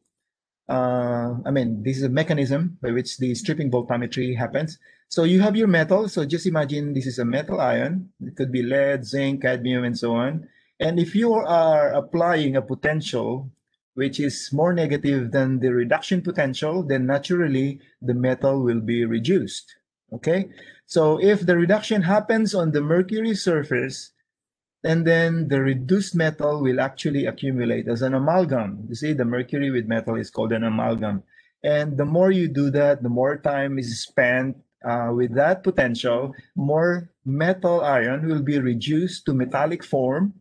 And afterwards, you can actually change the potential uh, to more positive potential this time to oxidize back the metal into solution. So we call that anodic uh, um, stripping because we are trying to oxidize the metal that is reduced. All right, so that's the process. The metal in ionic form is reduced, so it's cathodic. And then once they accumulated as a metal on the mercury surface, they are oxidized back in solution. And the oxidation is accompanied by a current, and that is the one that we measure. So that is the main principle involved in anodic stripping voltammetry. So these are the steps.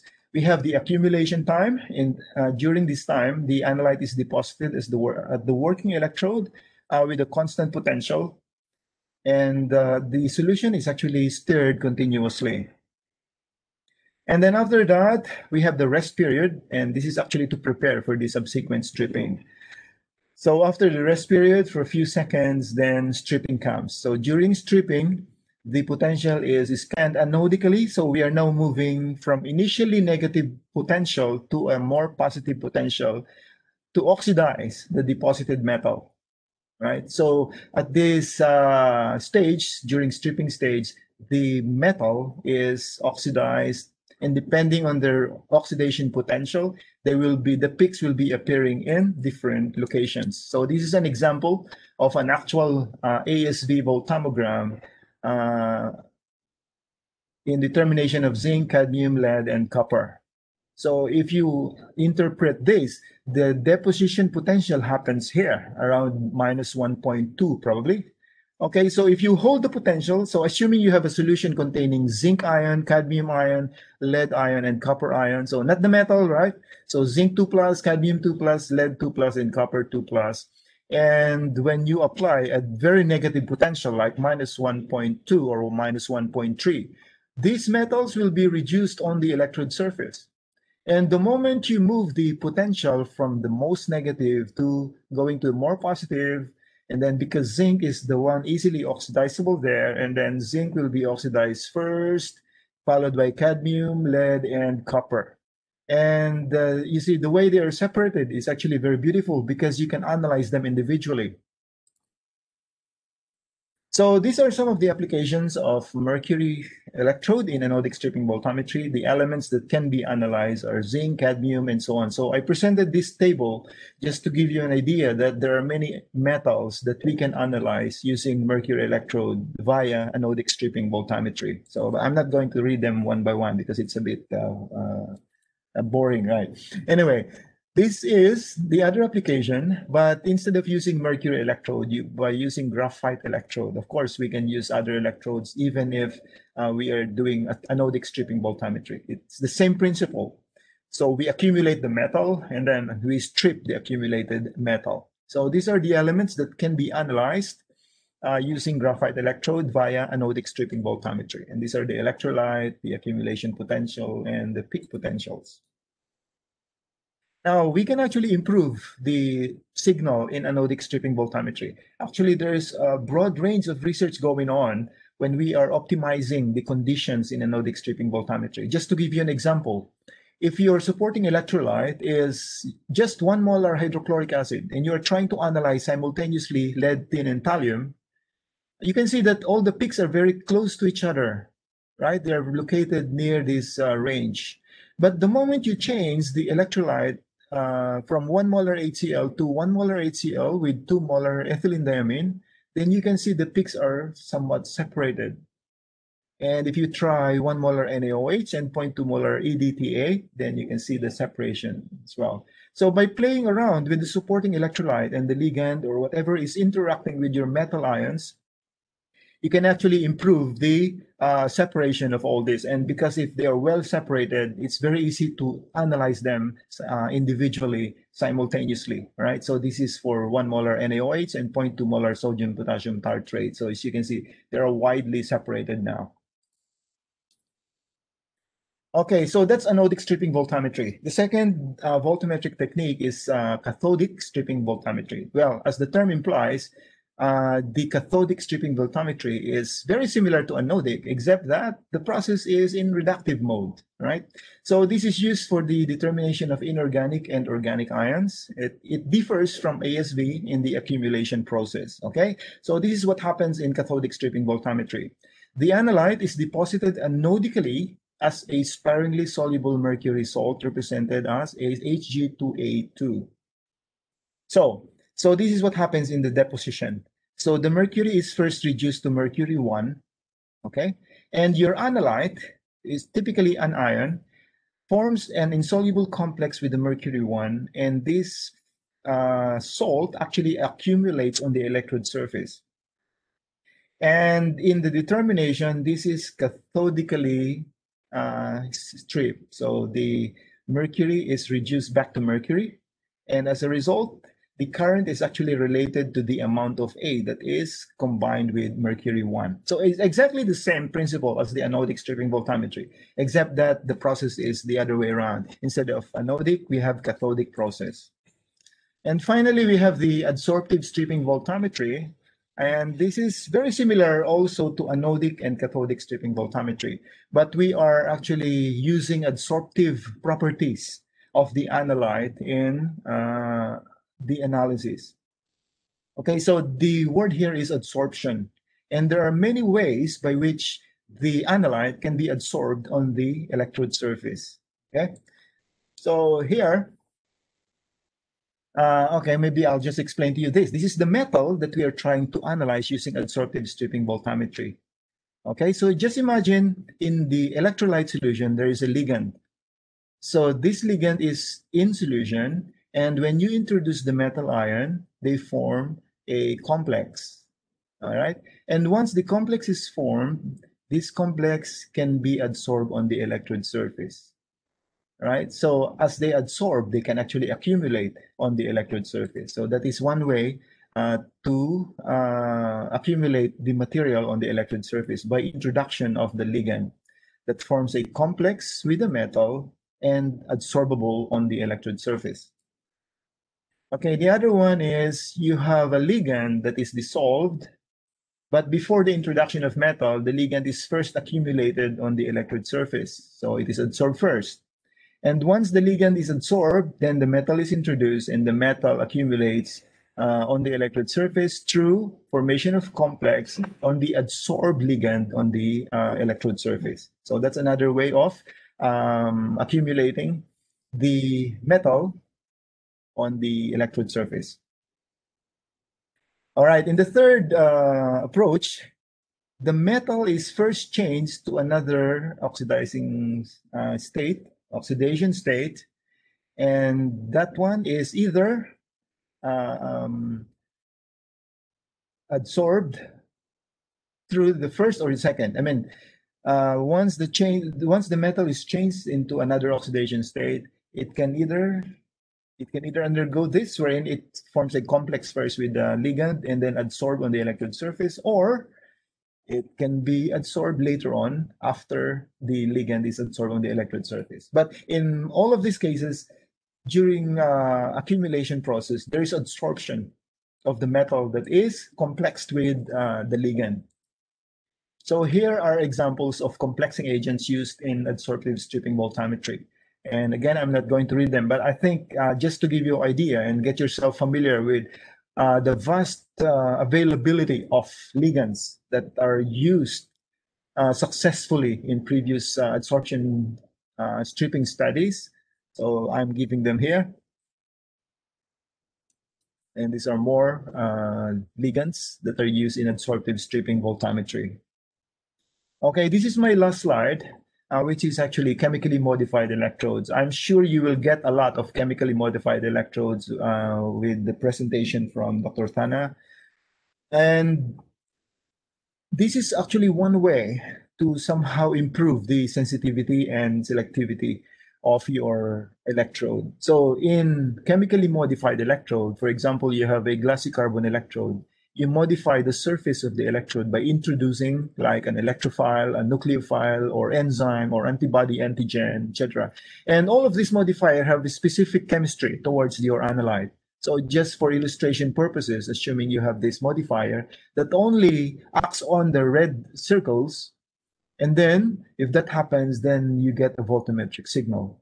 So if you are analyzing, trying to analyze a square, which doesn't fit there, there is no signal. So if you have a mixture of this red and the green square together in a sample, then you can only analyze for this one. So this chemically modified electrode can actually be designed for a specific analyte for, for detection and for pre-concentration. Okay, so I think that's my final slide. And so thank you very much. All right. Uh, thank you so much, Dr. Joy, for your very uh, you know informative and very interactive uh, presentation on the voltammetry technique. All right uh, without further ado next i would like to invite dr Rasmat Muhammad Shukri okay uh, to you know to to share with us about the application of the voltammetry all right dr Rasmat are you ready? Okay i'm here. I'm all ready. Right so let us hear from Dr. Rosmat. Okay, Bismillahirrahmanirrahim. Assalamualaikum warahmatullahi wabarakatuh and good morning everyone. Um, so today um, I'm going to talk about this application of voltammetry in the real experiment. But first of all, um, uh, I would like to introduce myself a little bit, um, continuation from Dr. Faizuan. Um, me, I'm Rasmat from, uh, I'm born in Kuala Krai too, similar with uh, Dr. Faizuan. And then I also uh, gained my bachelor and PhD uh, from UTM. Basically, I'm DNA of UTM, but now, uh, now I love USM, okay? So without further ado, then we uh, proceed to my sharing for today.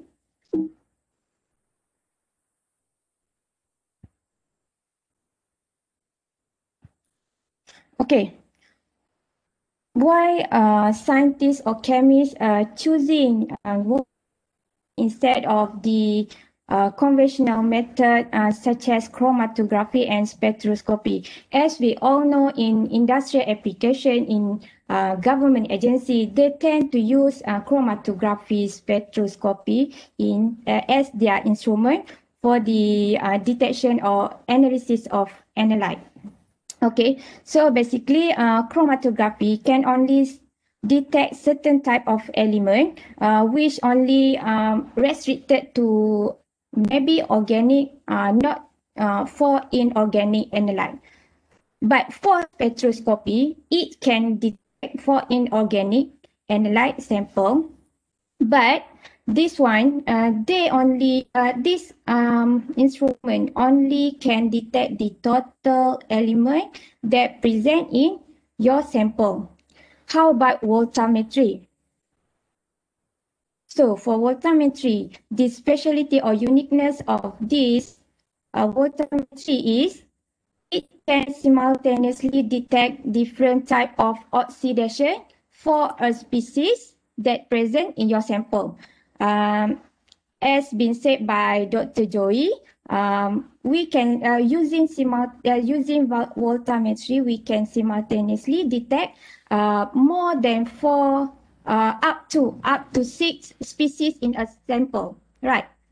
So for for example, you want to analyze the um, element of ion Fe, and then uh, as we all know, AAS um, only can detect total uh, ion Fe, not res- uh, it cannot differentiate between Fe2 plus and Fe3 plus in your sample. That is the uniqueness of voltammetry that um, scientists choosing this method to analyze that kind of sample. And then um, for voltammetry, it can handle high salt concentration better than, better than chromatography instrumentation. So for uh, this, um, if uh, we um, we have listened uh, the uh, sharing uh, from Dr. Faizuan and Dr. Joey that uh, this voltammetry is relating to the current, okay, current and voltage. To create current, you need to dissolve an ionic species, right? So for salt, if you dissolve it, it can uh, dissociate into ion that produce current. So this method also required lesser amount of the sample used. Besides, it's also capable to detect up to PPT level, which uh, can be considered one of the sensitive method. Due to this method, uh, they include um, pre-concentration step during analysis. And then uh, for this voltammetry, we can apply this uh, to various of uh, field, not restricted to chemistry.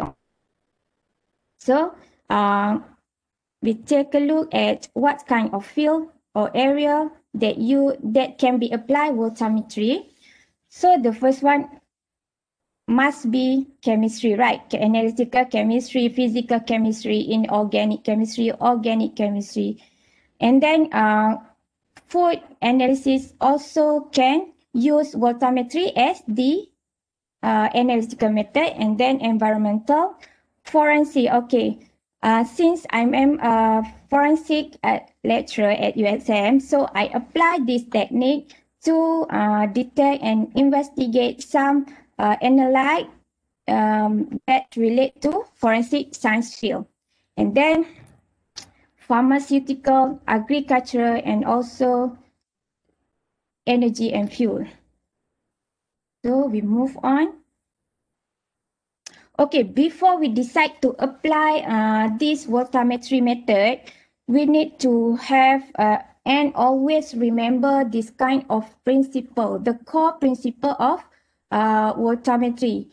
Uh, we need to um, we need to know what are the potential of the analyte that we are going to detect or analyze. If we don't have any idea, then we cannot proceed for voltammetry. So that's why we need to have the basic um, knowledge about the voltammetry. And then uh, as you can see here, this is uh, some of the analyte or the element that uh, I am using in uh, my project uh, that collaborated with um, UTM and other ag- agency. And then this one is um, potential window. This this figure, these two figure already uh, already mentioned or already explained well by Dr. Faizuan and Dr. Joy. Uh, so I think uh, I don't have to explain again. But uh, in order for you to uh, detect or use this voltammetry, then you need to re you need to know about this uh, standard reduction potential and also electrode potential window. Okay, for the okay for the application of voltammetry in the real experiment. Okay, for this uh, research project, uh, I conducted it during my um, earlier career as a lecturer because as a now we need to start with a simple one, right? Right. So for this one, uh, we conducted uh, a research and successfully evaluated the water quality, uh, including uh, analysis of heavy metal, of cadmium, copper, lead, and zinc in river and tube well uh, in industrial and non-industrial area in Kelantan. So for this uh, research, we used um, mercury dropping electrode. So I think you get you have uh, watched the video that uh, Dr. Faizuan. Um, okay, then um, for this kind of method, we use the technique of ASV, anodic strip voltammetry, and then um, after we successfully evaluated this um, kind of analysis, heavy metal analysis, we are going to um, develop the sensor for in situ analysis of river and tube water, tube well in Kelantan.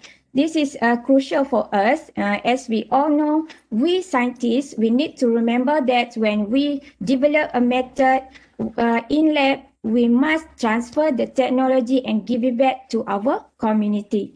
And I believe that we all academic institutions share the common goal that everything we done in lab, we are going to transfer and we are going to share it with community. So, um, so next project. Okay, this kind of project, uh, I collaborated with Dr. Faizuan and then um, which entitled of voltammetric technique for determination of arsenic and arsenic 3, 3 plus and arsenic 5 plus residue in calcium carbide ripened climacteric fruit, uh, which is involved of um, local and imported fruit. Okay, for this kind of project, we use uh, or we detect the heavy metal um, as the uh, we detect arsenic 3 plus and arsenic 5 plus residue in both mango and banana from local and imported fruit. So um, unfortunately, we detect some contaminant of arsenic uh, in both of these fruits. So um, so for the precaution, um, you need to be careful uh, on what kind of food or fruit that you consume because this might affect your health. Okay, for this uh, research also, uh, for this kind of research, we use another type of um, electrode, which was gold electrode. For this kind of arsenic, we can uh, also detect using mercury, but we all know the drawback of mercury is uh, toxic toxicity problem, right? But uh, another problem is you need to coat the mercury with another um, another substance to make it um, uh, available to detect arsenic. So uh, to to make it simple for us as a beginner, we just use another option, which is gold electrode. So for gold electrode, we also apply ASV anodic stripping voltammetry. And then, okay, for this current project, um, I'm focused on the water treatment. Uh, at the phase, uh, the first phase, uh, we have successfully treat the removal of heavy metal in polluted water sample.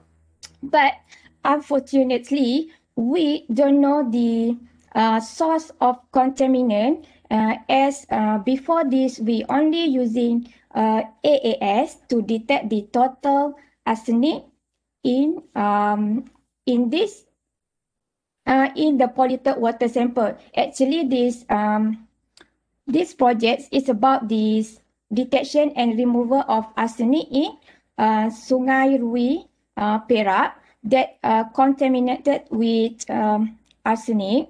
So uh, we uh, have developed, we have successfully developed a method to treat, but we currently working on the development of um, validated mercury method, uh, uh, voltammetry method for this uh, kind of project to propose to government agency and also industrial agency that uh, using voltammetry, we can identify the source of problem that uh, contribute to higher level of arsenic in uh, any type of polluted water sample.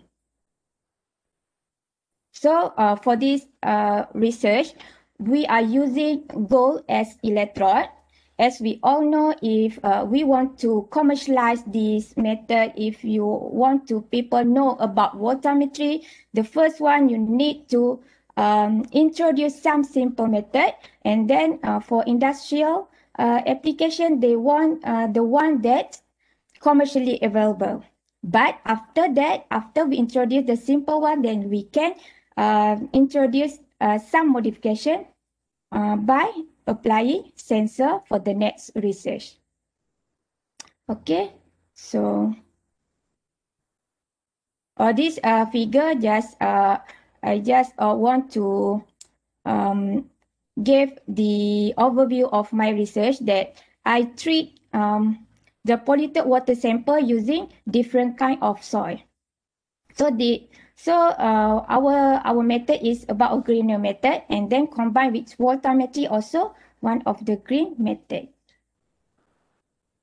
So uh, the next is the application of voltammetry in agricultural field uh, for especially in soil analysis. Okay, this one uh, from the other researcher, but uh, I want to sharing this um, about um, about the important uh, information or successful um, successful development of um, successful research regarding development of sensor. Okay, this kind of sensor has been developed by one of the scientists or chemists from University of Prince Songkhla, Thailand. Uh, he said that he successfully um, developed a sensor for in situ quantification of nitrate.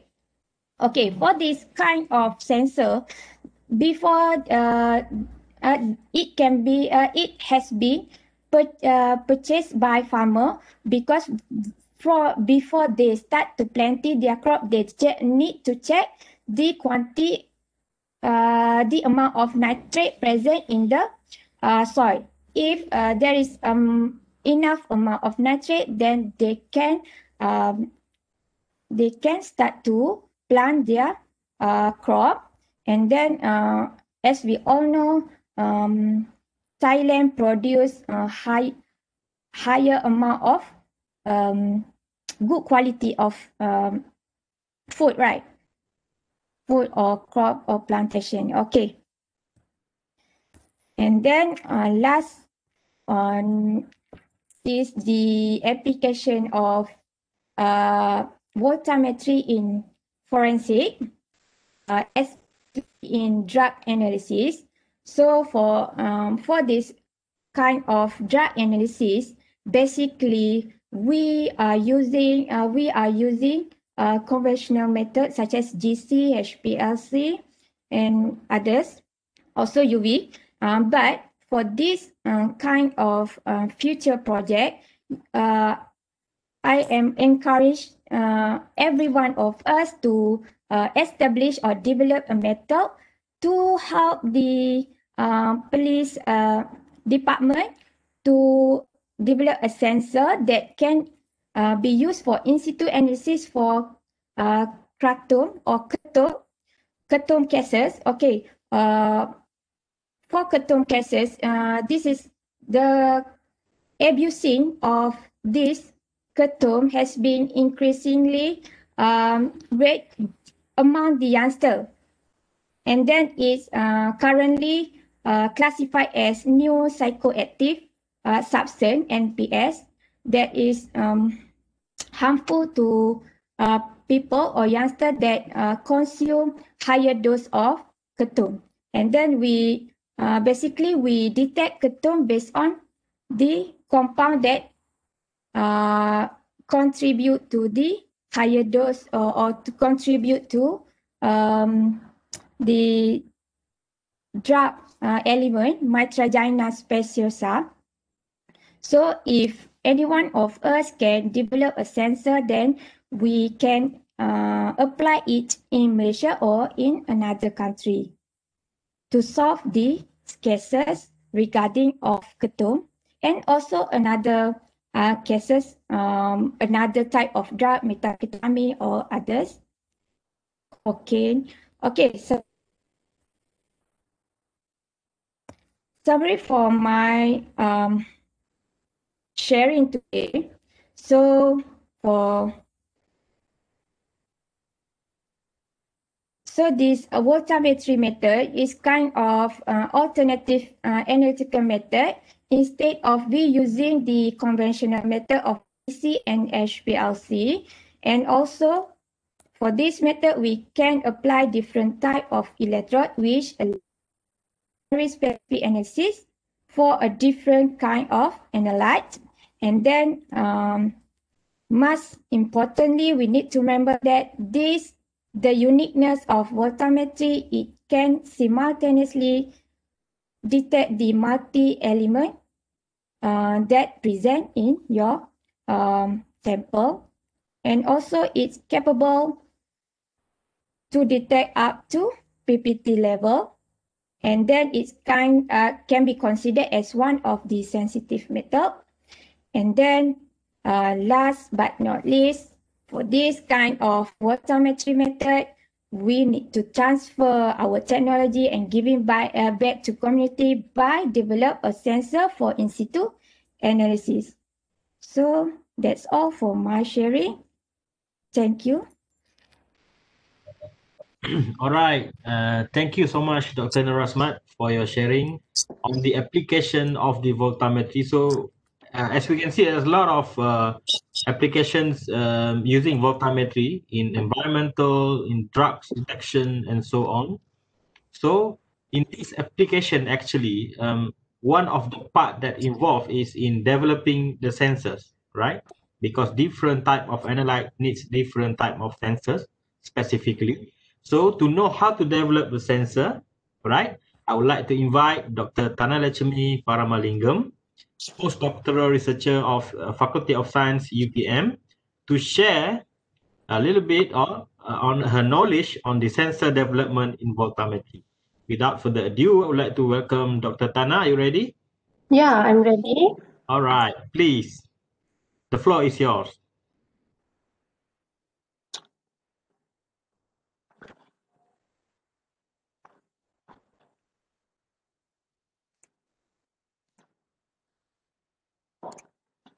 Okay. Good day, everyone. I'm here to share some information on voltammetric sensor development. Okay, I'm Dr. Tana, postdoc UTM. Okay. Okay. What is uh, voltammetric sensor development? Okay, it's about the working electrode modification. Okay, as we can see here, there are many types of working electrodes such as copper electrode, micro electrode, gold or platinum electrodes. Okay, This type of electrodes can be modified and introduced as a developed sensor. Okay, why we need to do sensor development in voltammetric field? Okay, there are several methods have been applied in analytical chemistry. That is a conventional method like uh, chromatography, like HPLC, GC, and the spectrophotometry, capillary electrophoresis. But these methods are having some disadvantages, such as complicated sample preparation, too much of time consuming, and also high production of solvent waste. So we choose voltammetry as the alternative method. Okay. But in voltammetry, in voltammetry, there's a very few problems like a toxicity issue due to the mercury electrodes and uh, poor sensitivity of bare carbon electrodes. So we need to do electrode modification. Okay, the purposes of electrode modification. The main purpose of electrode modification is to reduce the limit of detection, the LOD value. The lowest the LOD values, the sensitivity of the sensitivity of the electrode is very good. Okay, the second one is to increase the electrochemical response. Okay, we can see here this figure. Okay, this is from my uh, research. Okay, I analyzed the pesticide paraquat dichloride using bare and modified. Um, wait, uh, I want to open my.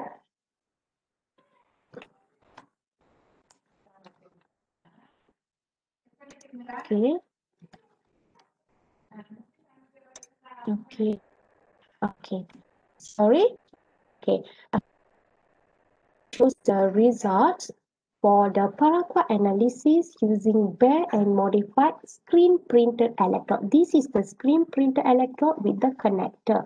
Okay, I did analysis for paraquat dichloride. Okay, from here we can see the modified screen printed electrode gave a very good stripping signal uh, it's about two times higher stripping signal compared to bare screen printed electrode. It shows that the modified screen printed electrode give a higher sensitivity compared to the bare screen printed electrode. Besides that, the electrode modification can increase the stability of the electrode, okay, and it can improve the selectivity towards the target analysis pesticide or anal analyte okay? Okay here i've shared uh, some of my result. Okay where i did the experiment on interfering ion effects metal ion effects. I choose five types of metal ion. That's the cadmium copper iron lead and zinc okay? What i did i mixed these with the uh, solution that contain the paraquat dichloride and i did the analysis using the uh, modified screen printed electrode okay as we can see here, there is no change. There is no significant change on the uh, initial peak of paraquat dichloride in the presence of this those metal ion. It shows that the modified screen printed electrode, okay, the modified electrode has a very good selectivity. Okay, and the most important thing is we must consider about this uh, the modified electrode, whether it is safe to be used or not. Okay, and then it can be alternative for mercury electrode. Okay, and in I would like to share some of my research output. I used HB pencil lid, just the lid, just the pencil lid here. Okay, to modi uh, as an electrode, where I able to introduce uh, four uh, I'm able to use this bare and modified pencil lead electrode, HB pencil lead electrode for analyze five types of pesticide. And uh, I'm very happy that I'm successfully published my works in ISI journals related to modification of HB pencil electrode. Okay, now I'm proceed with uh, the methods for surface modification on working electrode. There is a three types of uh, modification. The first one, direct or drop casting.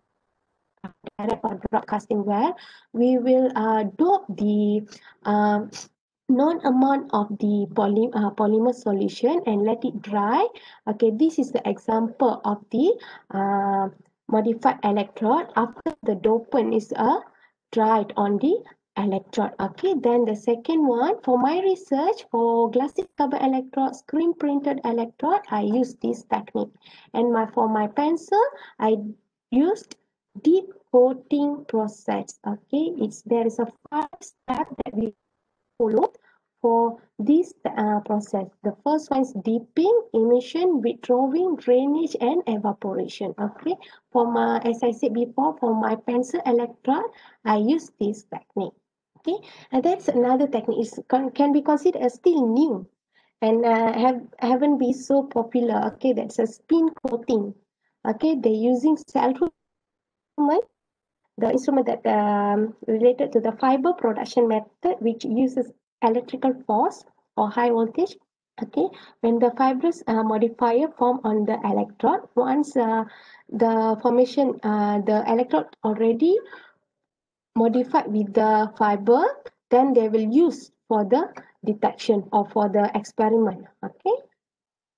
Now, uh, we'll look at the selection of materials for um, for uh, electrode modification. Okay. There are there are many types of materials can be used for modification such as uh, carbon nanotube like the graphene, graphene oxide, multi-walled carbon nanotube is quite famous. The multi-walled carbon nanotube is quite famous a modifier that we use for the uh, modification, especially for glassy carbon electrodes. And then uh, we can use metal or metal oxide and the biological receptor can uh, we can uh, modify the uh, sensor and uh, introduce as a biosensor where we can use the DNA protein or enzyme as the modifier and uh, the, uh, then uh, we can use the polymers like conductive polymer like uh, polyfuran, polyaniline, polypyrrole, P dot. This uh, polypyrrole is one of the top polymers that we can use for uh, sensor modification. Okay, uh, here is one example where the one of the researcher using zinc oxide where it in modified with the uh, they use the zinc oxide and manganese called nanocomposite to modify the classic carbon electrode for riboflavin uh, that is a vitamin C uh, determination. Okay, the property of the applied modifier the uh, we must uh, we must uh, know that the property of the applied modifier can affect the performance of the sensor. So we must be uh, so uh, we must be consider about the properties of the modifier before you choose for the sensor modification. So this person, this researcher, able to find out that zinc oxide have a large binding energy and give excellent chemical and thermal stability. Okay, then I show you the second example okay and uh, this is the diagram shows the how the uh, researchers okay did the surface modification on the glassy carbon electrode by using carbon nanotubes carbon carbon nanomaterial that is uh, carbon nanotubes graphene nano uh, bands and the, this researcher they mix the carbon nanomaterials with the biological receptor okay as i mentioned here and they targeted uh, they able to determine the organic compounds like uh, 2-aminophenol and 4-aminophenol. This is the organic compounds, but from the uh, this researcher able to uh, find out or able to uh, show, able to get the well too well defined of the organic compounds, aminophenols and 4-aminophenols using these modified glassy carbon electrodes. Okay. Now, I want to explain about the application of developed sensor or electrode. Okay. And from this, uh, okay, for your information, glassy carbon electrode is widely used in uh, voltammetric analysis. Where uh, it can uh, because it have a large diameter of working area this is the working area we call it the working area and it allows the measurement in a wide potential as uh, mentioned by Dr. Faizuan and uh, Dr. Joy and Dr. Asmat. Okay, it's a very have uh, has a wide potential range from negative one to 1.2 to positive 1.2 and it uh, has fast electrokinetic due to, due to its high electron transfer rate and uh, it can uh, be reused by polishing the surface okay? And then uh, I show you this example for uh, using glassy carbon electrode for analysis the ascorbic acid okay? Ascorbic acid is a vitamin C okay? Using the multi-walled carbon nanotubes okay? We can see here from this diagram okay the, stripping signal for uh, the current reading for bare uh, glassy carbon electrode and the glassy carbon electrode that uh, modified with glass modified with um, multi-wall carbon nanotubes okay? It's almost three times or uh, almost two to three uh, almost three times higher. The stripping signal uh, it's the voltammetric response that's a stripping signal the voltammetric response is a higher because it has the large surface area and potentially high electroactive and shows better sensitivity. Okay this uh, this diagram clearly show the voltammetric response for bare and modified electrode. This is why we want to do the surface modification and introduce newly developed sensor. Okay, now I want to explain about the carbon paste electrode. Okay, this is the carbon paste electrode. Okay, we have diagram tube and we have a rod, copper rod. Okay, uh, the modifier uh, paste normally we will uh, once we prepare the modifier paste we will put inside the Dalrymple tube and compress using this copper rod. And then we will connect it to the voltammetric setup. Okay. CPE okay carbon paste electrode is a very cheap easy preparation and their active surface area can be fast renewed and it exhibit reproducible surface area. Plus this CPE give a uniform distribution of the catalyst or modifier into the and it, show better stability in aqueous solution okay now okay here is uh, I got summarized the um, the determination of riboflavin. The riboflavin as a vitamin B2 and this is the structure for riboflavin. Okay. Here I have summarized the definition of riboflavin using carbon paste electrode with different type of modifier. Okay, there is a one of the researchers, they're using manganese dioxide and this modifier give a high catalytic effect during the analysis which is very good for uh, voltammetric determination and some of the uh, researchers they're using ionic liquid as the modifier and then this ionic liquid can give a high conductivity and increase the sensitivity and transfer. And there is also some uh, researchers they focus on uh, application of surfactant like a sodium lauryl uh, sulfate uh, as the uh, modifier. And then uh, this surfactant can uh, extremely sensitive to the acidic and basic media. Plus it can reduce the over potential for the reduction and oxidation of the analyte okay? And each for your information each modifier has its own capability to enhance the voltammetric response. Okay Okay, now I want to talk about the sensor that's uh, the innovative uh, strip that's called screen printed carbon electrode. It's just a very small electrode and then it's uh, very small and very uh, like about the uh, less than 5 cm the length okay it is a very uh, it's a disposable device designed to work with the micro volume of sample and low cost and it's called as innovative strip okay we have the in one strip we have all the uh, counter electrode working electrode and reference electrode and okay as i show in uh, my previous slide. Okay and then this example uh, okay about the nickel nanoparticle and naphthalene graphene oxide have been used as the modifier on the screen printed electrode for chemical oxygen demand detection.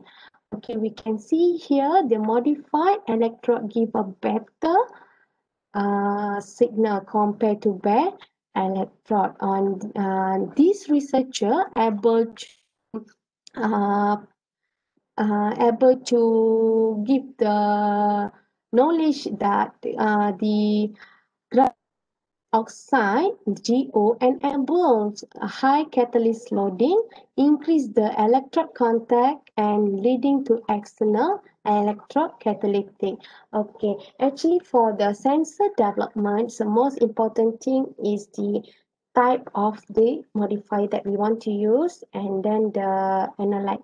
And then we must uh, make sure that uh, we choose the right modifier to get a very good performance of the electrode. Okay, as the summary, the development of sensor is a one of the most wanted area in chemistry research. Okay, suitable modifier will be produced an effective sensor as I mentioned before.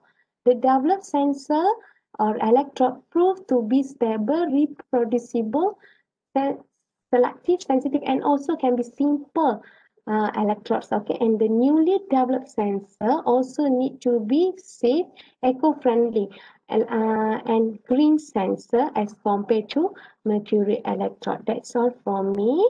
Thank you for listening.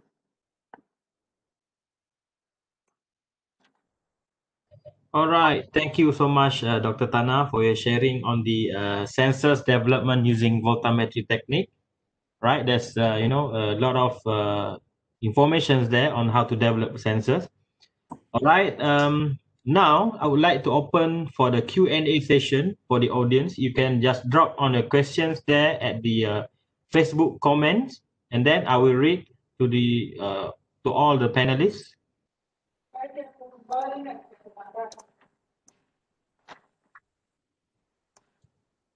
Do you have any comments there? Any any, any questions?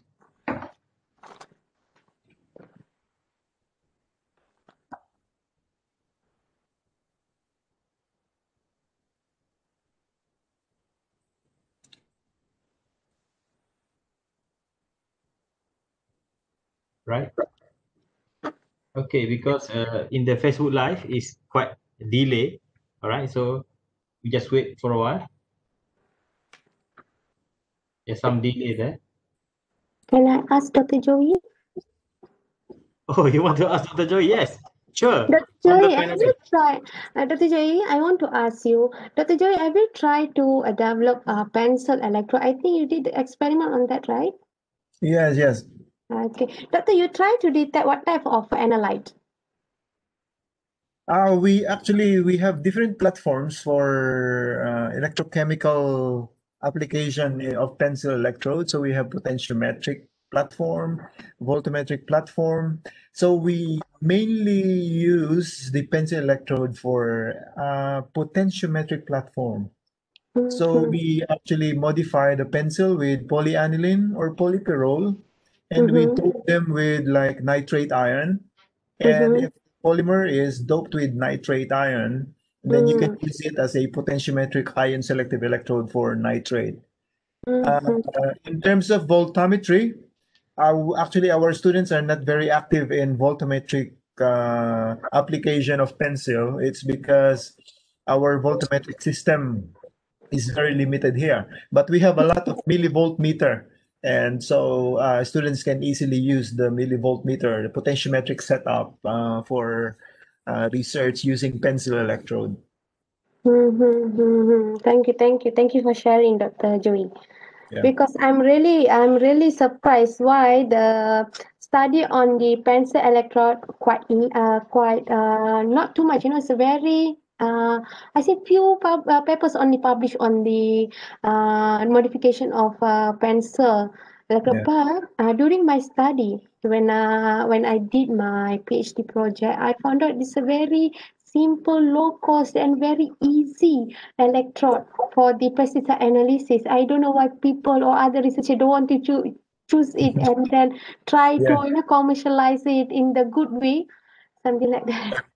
Actually, one one limitation that I can see with pencil is because uh, pencil is developed for writing, Mm-hmm. and so when the companies that are preparing them are developing the you know this pencil, they use additives, binders that are they don't have anything in mind about electrochemical application of pencil, and so the limitation is actually the binders to make it a very good writing tool and they don't normally put you know when we buy a pencil particularly commercial pencil we we don't see the chemical composition of the binder. We just say graphite. So Mhm, the yeah. component is graphite. But i have used a lot of uh, pencil from china for example and the last batch i bought a lot but it didn't work very well. It's probably because it has binders that are not really compatible with what electrochemistry needs to do so Mhm. I think uh, high purity graphite into a into a pencil would be better. But of course, when you are just buying pencil, we have no idea, you know, how much. So I think the best solution is to buy the B, the Bs like 2B, 3B, 4B because they have more Yeah. graphite than And the then uh, I I have read some journal. I don't know. I forgot already the author's name. They use HB. That's why I use HB, and HB uh, shows a very good conductivity. Oh, that's why good. I.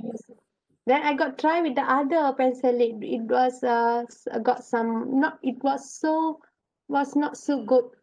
Uh, showing the uh, voltammetric response. It's Yeah. not too good in It's actually very tricky to to uh, to use them because we have no Mm. idea uh, about the chemical composition of the binder.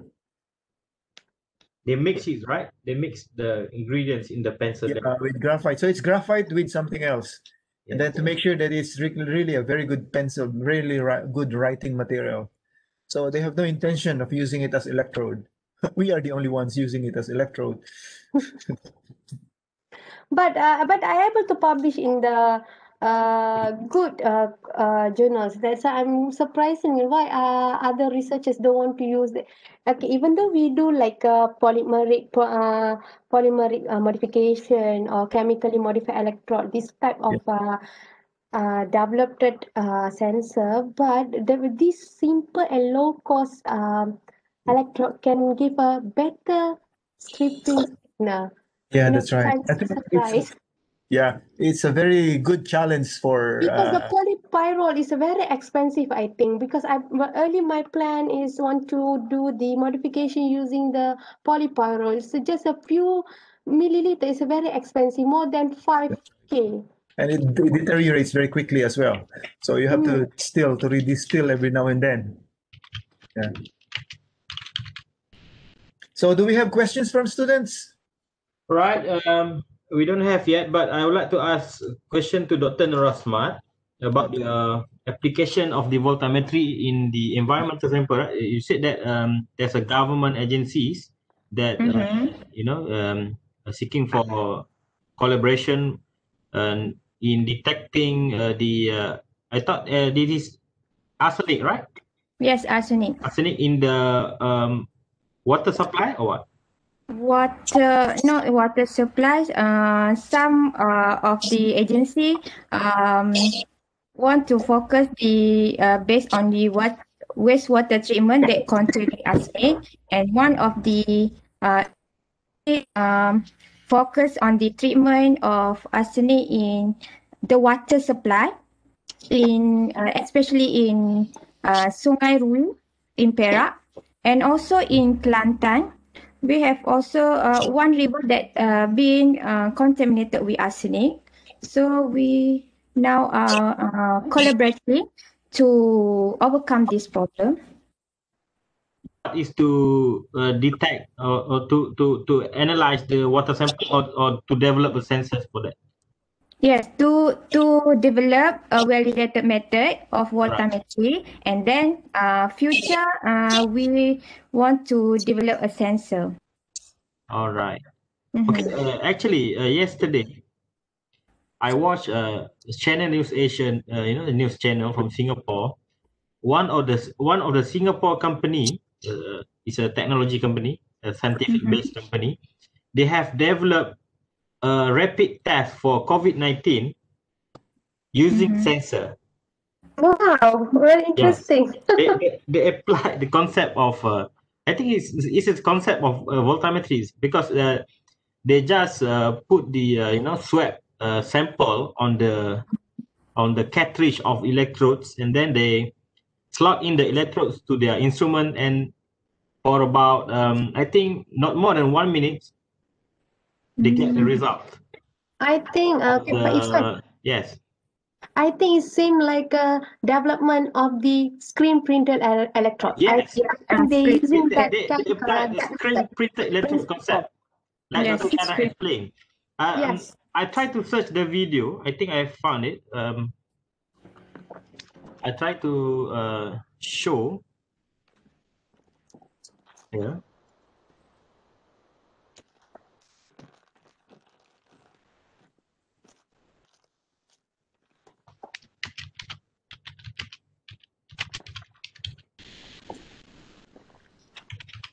Because it's in the, in the news actually. So yes, it's the rapid a rapid kit. I think. It's Now okay. this- Nowadays they try to develop the screen printed electrode. Yes, it's a screen It's printed. a trend. I have Nowadays seen it in the news, but I will I will uh, search for that because I let I want uh, us to know about the applic the latest application on the uh, rapid test of the COVID nineteen. Yeah, yeah. Look, look, can you search it? Okay, um, I, I will show. I'm searching for that. So um, right now, um, I'm looking on the uh, Facebook comments. Do we have any question now?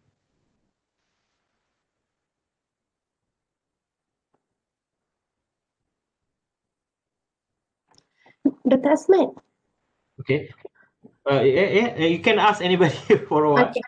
Okay, Dr. Asmat, I want to Yeah. ask you, uh, can you, uh, do you want to try any other modified electrodes for your study on arsenic, uh, three and five?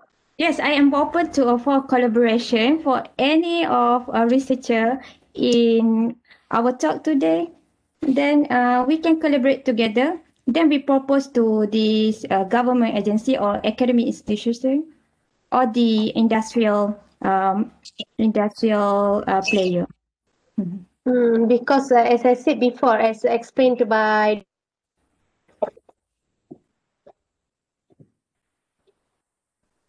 the paper, Right, hello, betul. betul tak nak? Okay. You have line problem, betul tak nak? hello. We can't hear you. Okay, now okay.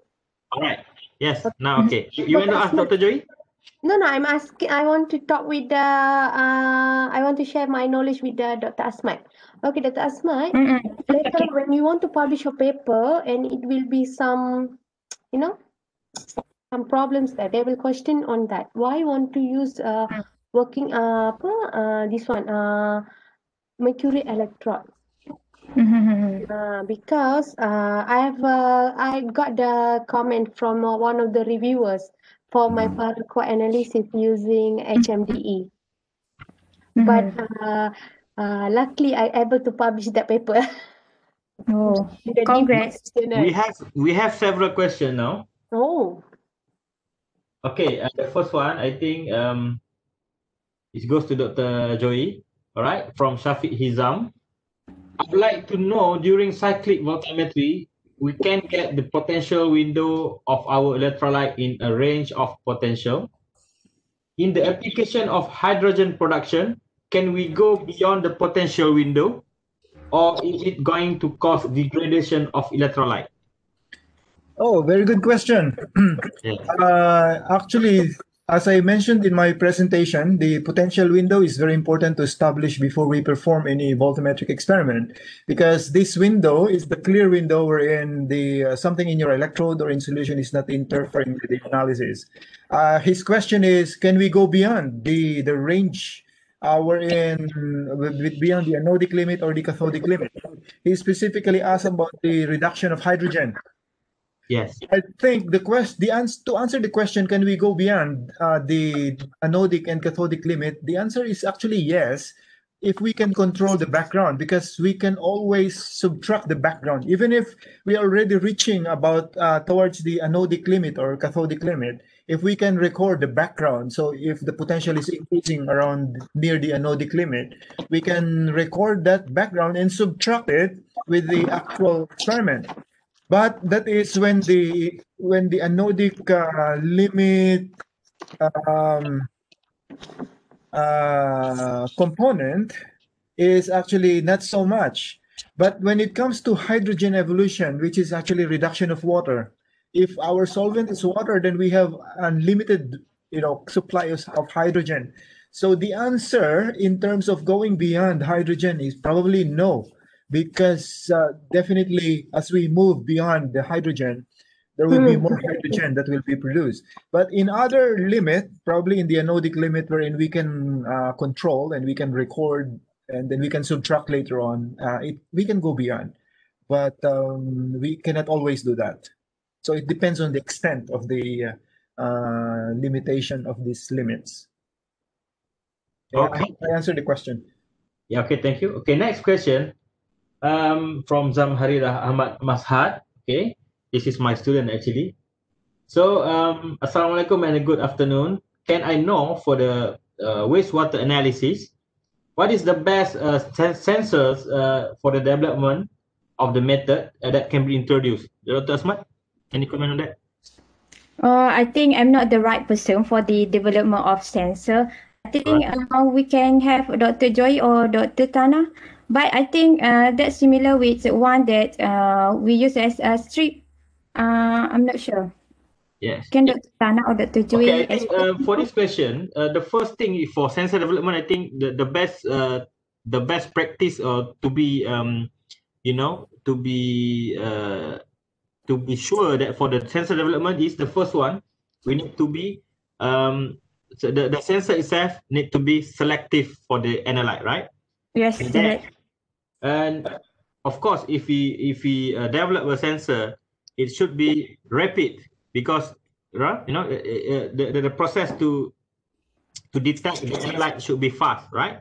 And then, of course, the other um, uh, factors such as uh, uh, reproducibility, repeatability, and so on. I think Dr. Tana can comment more about that. Uh, open your uh, uh, unmute first, Dr. Tana. You unmute. okay. Okay, sorry, sorry, sorry, Dr. Faizuan. That one, one for the uh, wastewater analysis, is it? Mm-mm. Yes, yes. For Treatment wastewater analysis, they can use. It depends on the analyte. They some some they can use biologic biosensor.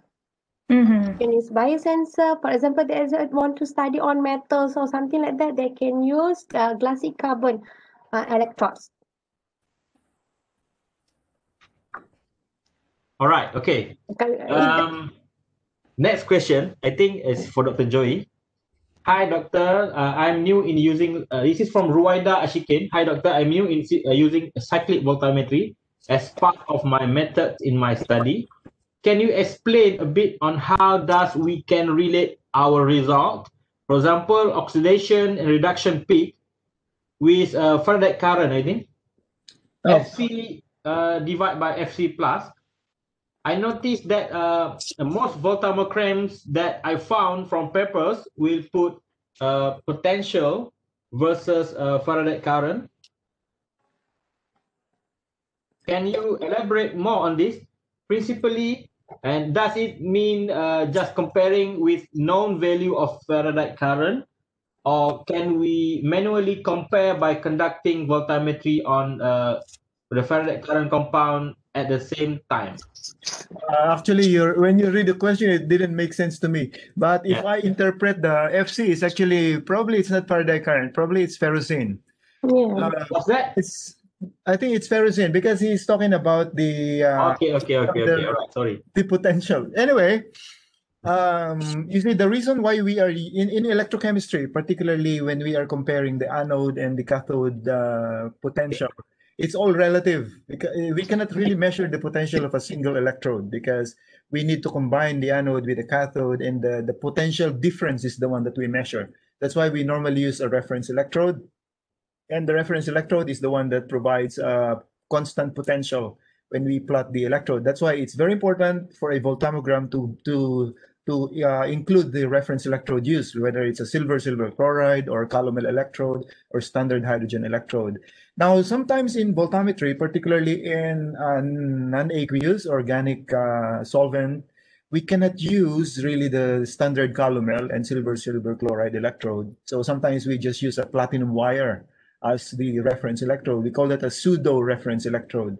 And when, we, when you are not using a non-standard reference electrode, the potential somehow changes. So what we do is we normally add like ferrocene or ferrocenium, some uh, standard uh, redox substances that we know the exact location or the exact oxidation or reduction potential. So actually ferrocene is a very popular internal standard in voltammetry. So if we are using ferrocene as an internal standard, we compare the direct the you know the uh, potential of ferrocene with your compound of interest, and uh, that is the relative location in terms of uh, potential. All right, and so that's the main reason why we are using ferrocene and ferrocenium couple uh, as a standard. It's because of the limitation of the voltammetric experiment maybe we cannot use a normal reference electrode. That's why we are using an internal uh, reference electrode, kind of an internal, not reference electrode, uh, but an internal standard to provide us with the actual location of the uh, redox, the peak, the, the oxidation or reduction peak in the uh, potential, in the potential. Uh, I hope that makes Yeah. sense. But Yeah, uh, that is kind of a way of, uh, you know, similar to the role of the reference electrode in voltammetry. All right, I, I think it's about uh, you know in analytical technique. Of course, uh, if you are using analytical instruments, we need to do the you know um, the calibrations, and it can be any method, right? Internal standards or external standards. Yeah. So um, so I hope that Dr. Joy uh, answer your question, Roida, because normally uh, we don't explain just now on how um, uh, practically we use because uh, in every experiment we use the similar concept in other analytical instrument. We we need to do calibrations, internal or external standard, and so on. This is common for any analytical instruments. All right. So I have uh, another question here. Okay, from uh, this is uh, my colleague in UTM, Dr. Faiz Shakir. Um, are there uh, are there any uh, limitation in terms of electrode modification on uh, this is for the Tana, I think. Are there any uh, limitation in terms of electrode modification on ready-made uh, SPCE uh, product as compared to glass uh, a glassy carbon electrode? For example, like um, electropolymerization technique for molecular imprinted polymer or other modification techniques. Or can you see by yourself, Dr. Tana, the questions?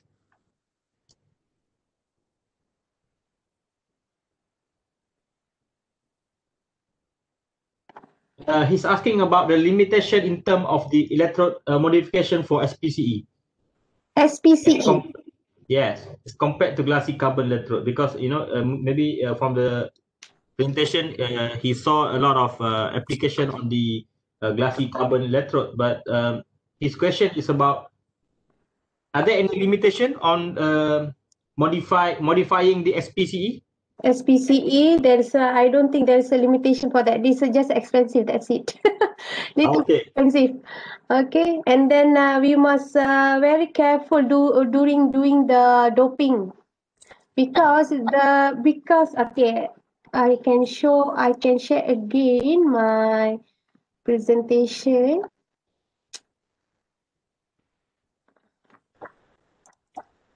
Okay, Dr. Tana, you sharing your slide again? Yeah. Okay. So I hope that it can help Dr. Faiz. Have you start sharing? Yeah, ah, wait. Okay, sorry. For Waida question is ferrocene, right? Sorry.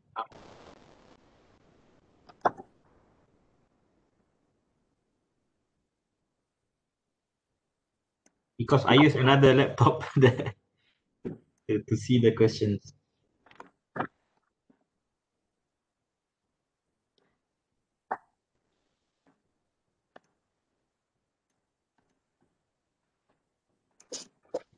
Hello.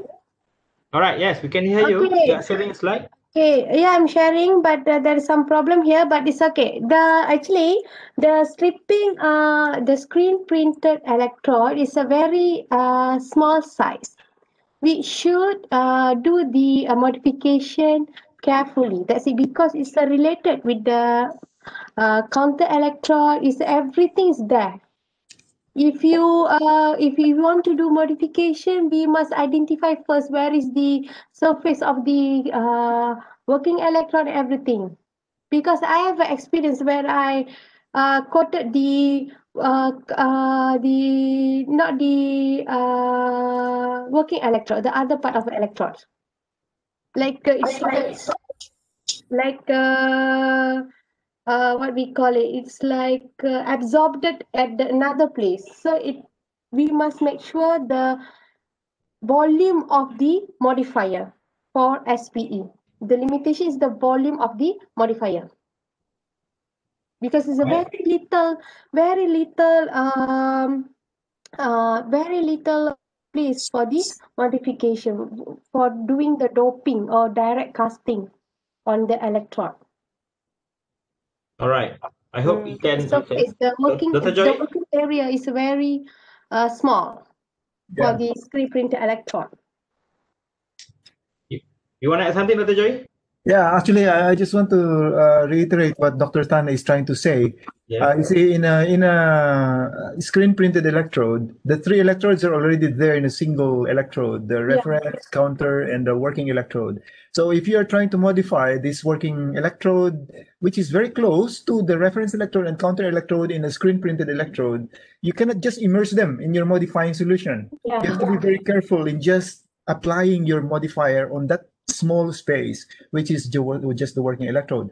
Unlike if you are modifying a glassy carbon electrode, which is an electrode on its own, you can actually you have the luxury of immersing that in the whole bunch of solution, and uh, you are very convenient. It's very convenient in modifying a carbon electrode. So I think that is one of the greatest limitation of the uh, screen printed electrode is Yeah. the availability of the space for modification. So it's not so easy to modify. Okay, thank you for the answers. Right, I, I think now uh, there are no more questions. All right, I think uh, I would like to share the quiz now for everyone. You need to answer the quiz. Okay, we have for how many viewer now? About 82 viewers. Maybe um, there's a, a lucky viewers among all of you. All right, but before that, I, I think I need to share the video. I think I have the video now.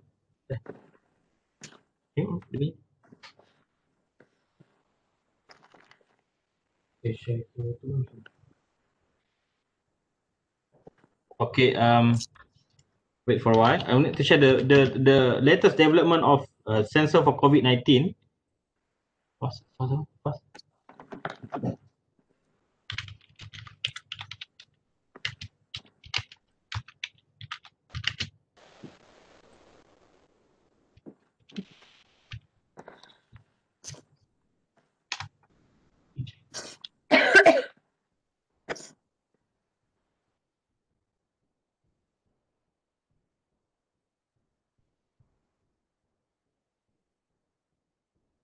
All right. Okay, I think the, the news is quite latest so that they, they don't publish it yet, but it's okay. So now I would like to share uh, the quizzy session right now.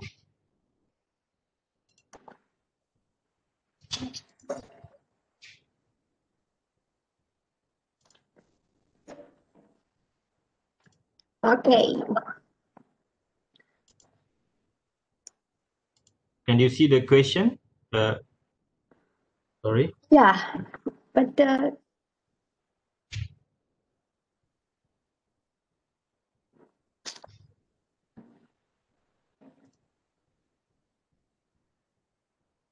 I have started the live uh, quiz right now. I'll wait for a while.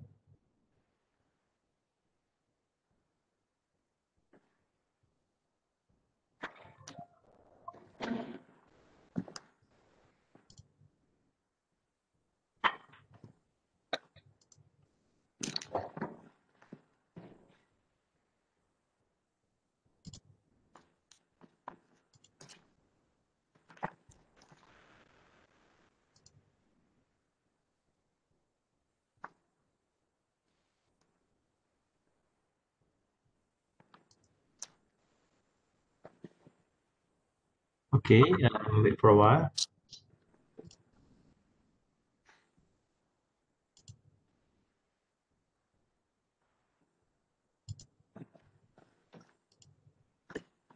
think the some problem with the uh, browser.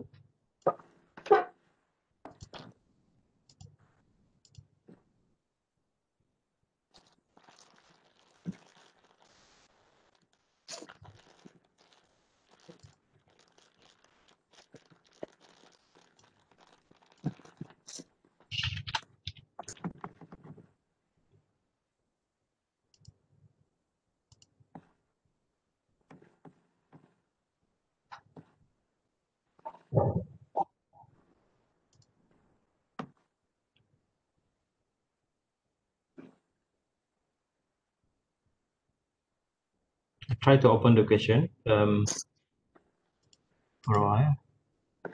Asma, Dr. Asma. Right. Okay, Dr. Tana.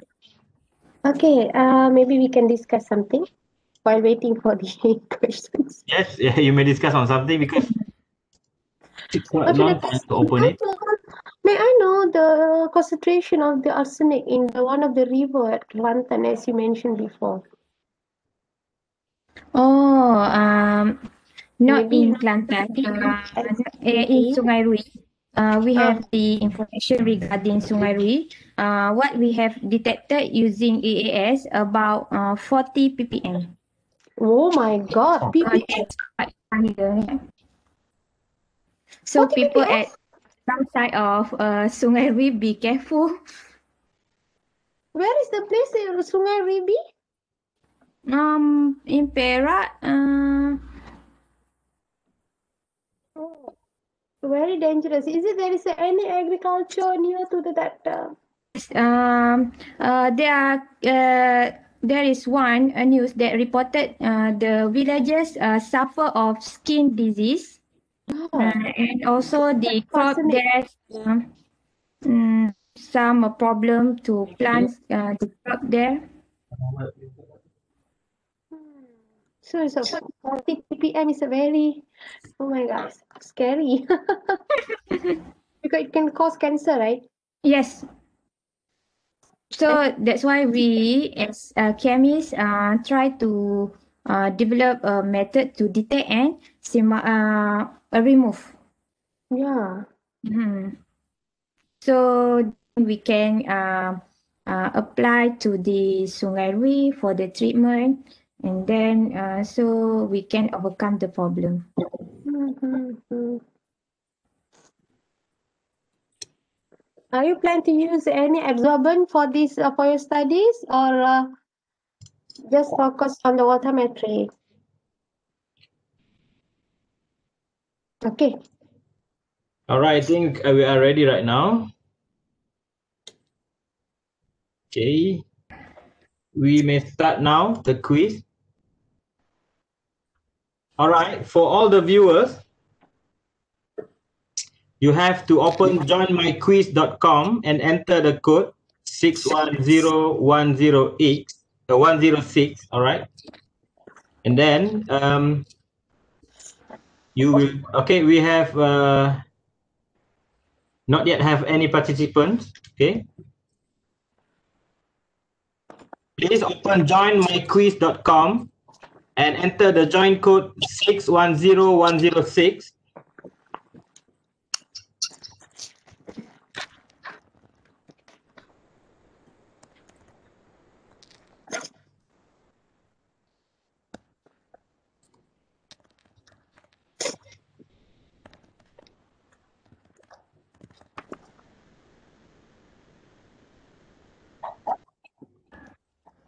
We have uh, Lukman now.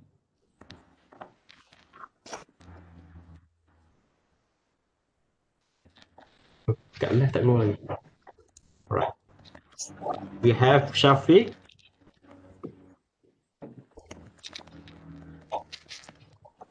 FS. Alright. We have three, five, okay, seven. Farah, Shafiq Hizam, Irfan.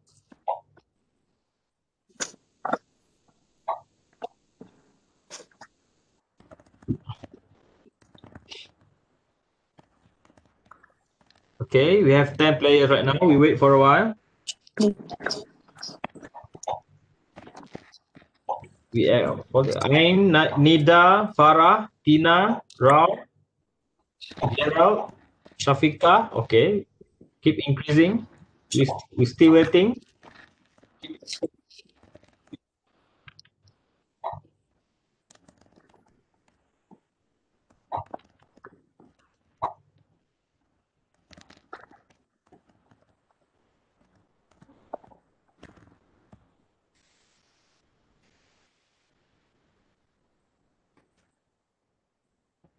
We have 23 players, 24 right now.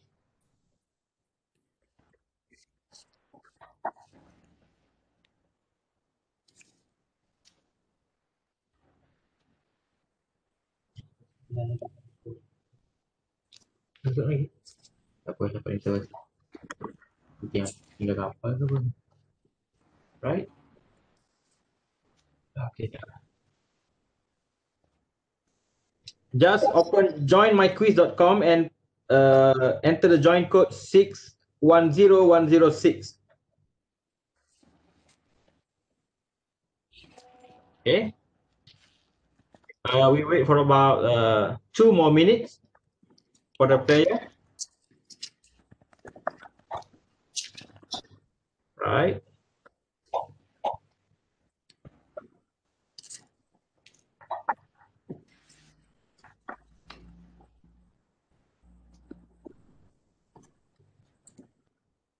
There will be special prizes for top three winners.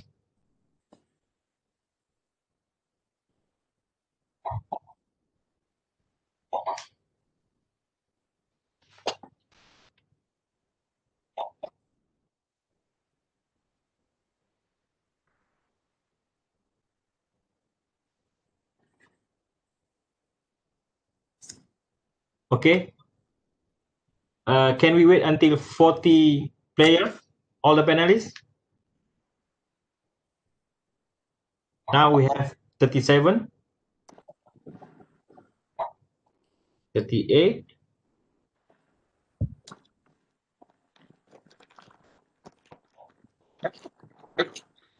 Thirty-nine,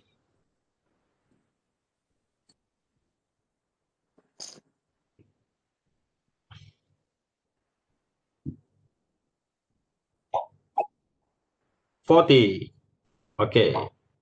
Oh. Still increasing. Okay, one more minute, please. One more minute.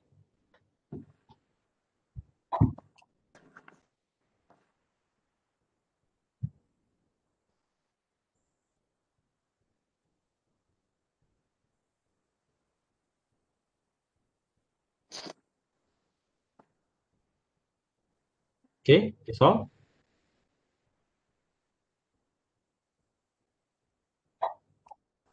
Okay. You have 30 seconds more.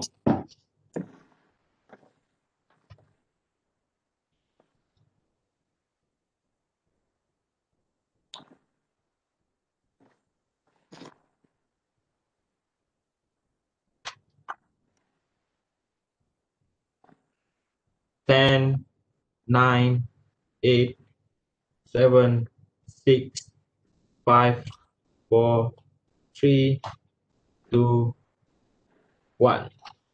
Okay, we start the quiz now. Oh, we have an one last participant. Don't know. His name is don't know. Okay, so we will start now the quiz.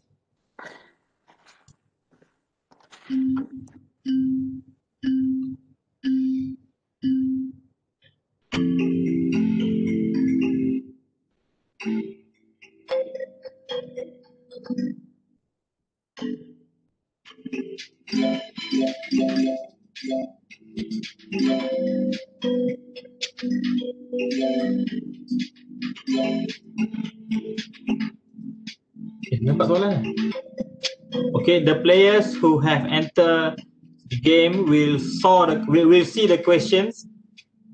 If you enter, you will see the questions. So now they are fighting. we can see the top scorer now is Zakia.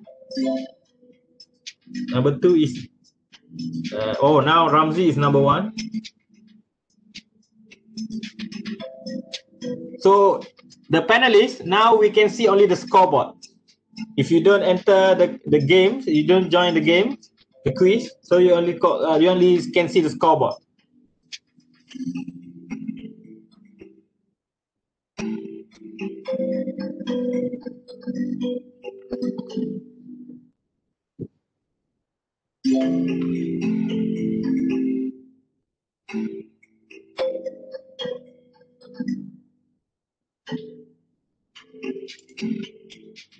Okay.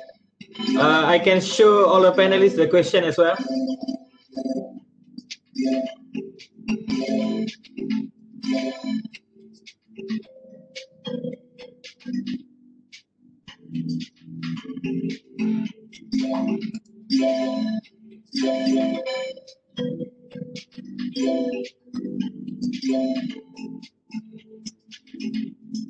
So Shafiq is now number one.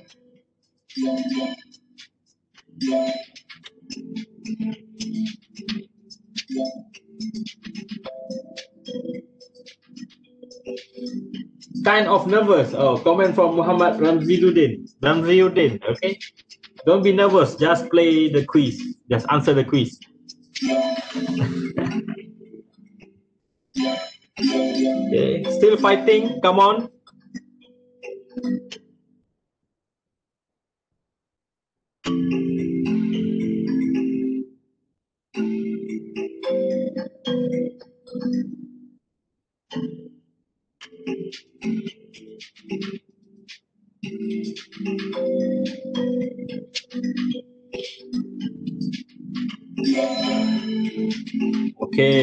This is the new ranking.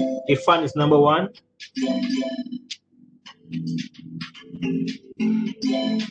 Raida Riki number two and Faraliana number three.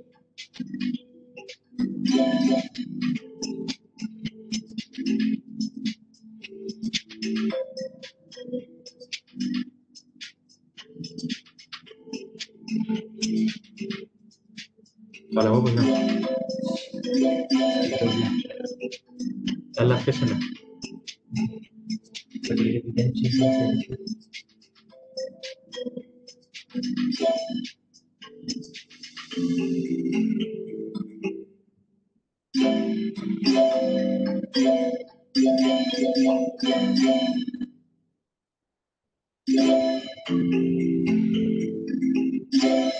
So the top three. Oh, now number three. Okay, the third place is changing right now.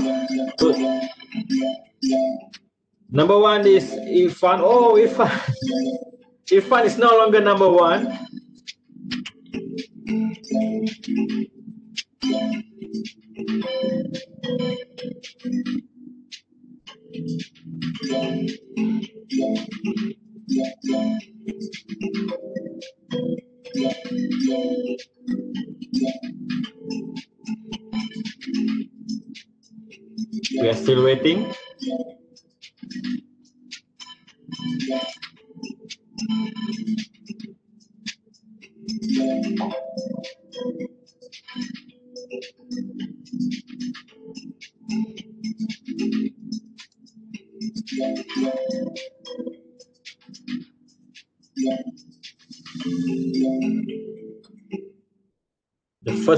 Place now goes to Ira, second place goes to Irfan, and the third place goes to Nana.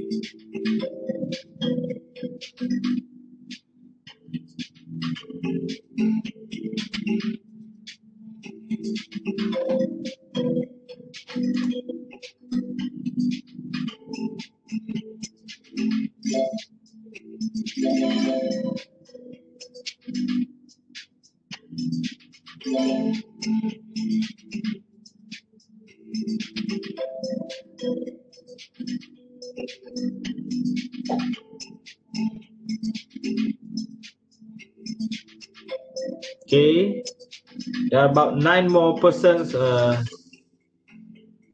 do not complete the question yet.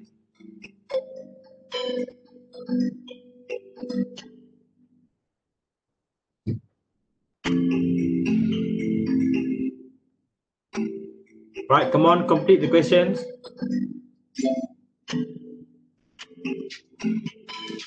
Because it, the the ranking could be changed if you answer the question right.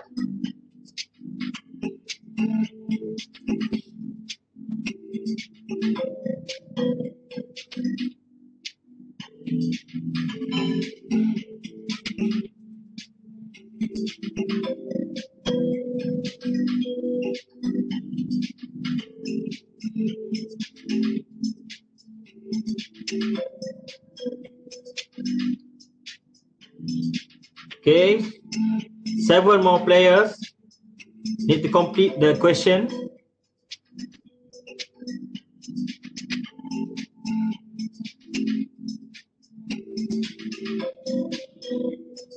As we can see the ranking now, the first place goes to Ira, second place goes to Irfan, and third place goes to Nana. Ira scores points uh, 10,465, Irfan 9,540, Nana 8,815. And the fourth place goes to Nida, 8,800 points, and Faraliana 8,785 points. All right, now I think all the players have complete answering the questions.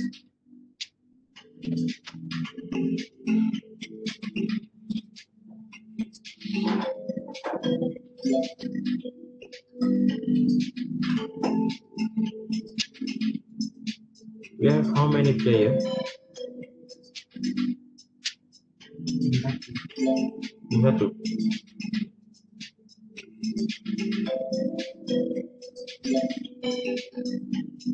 Oh, some of them are still answering the questions.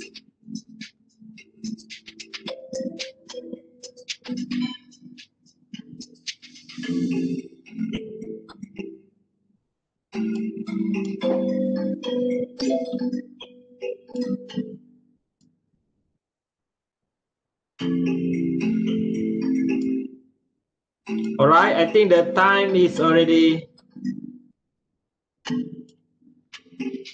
enough for answering the question. Okay, we can see now we have uh, about 51 players.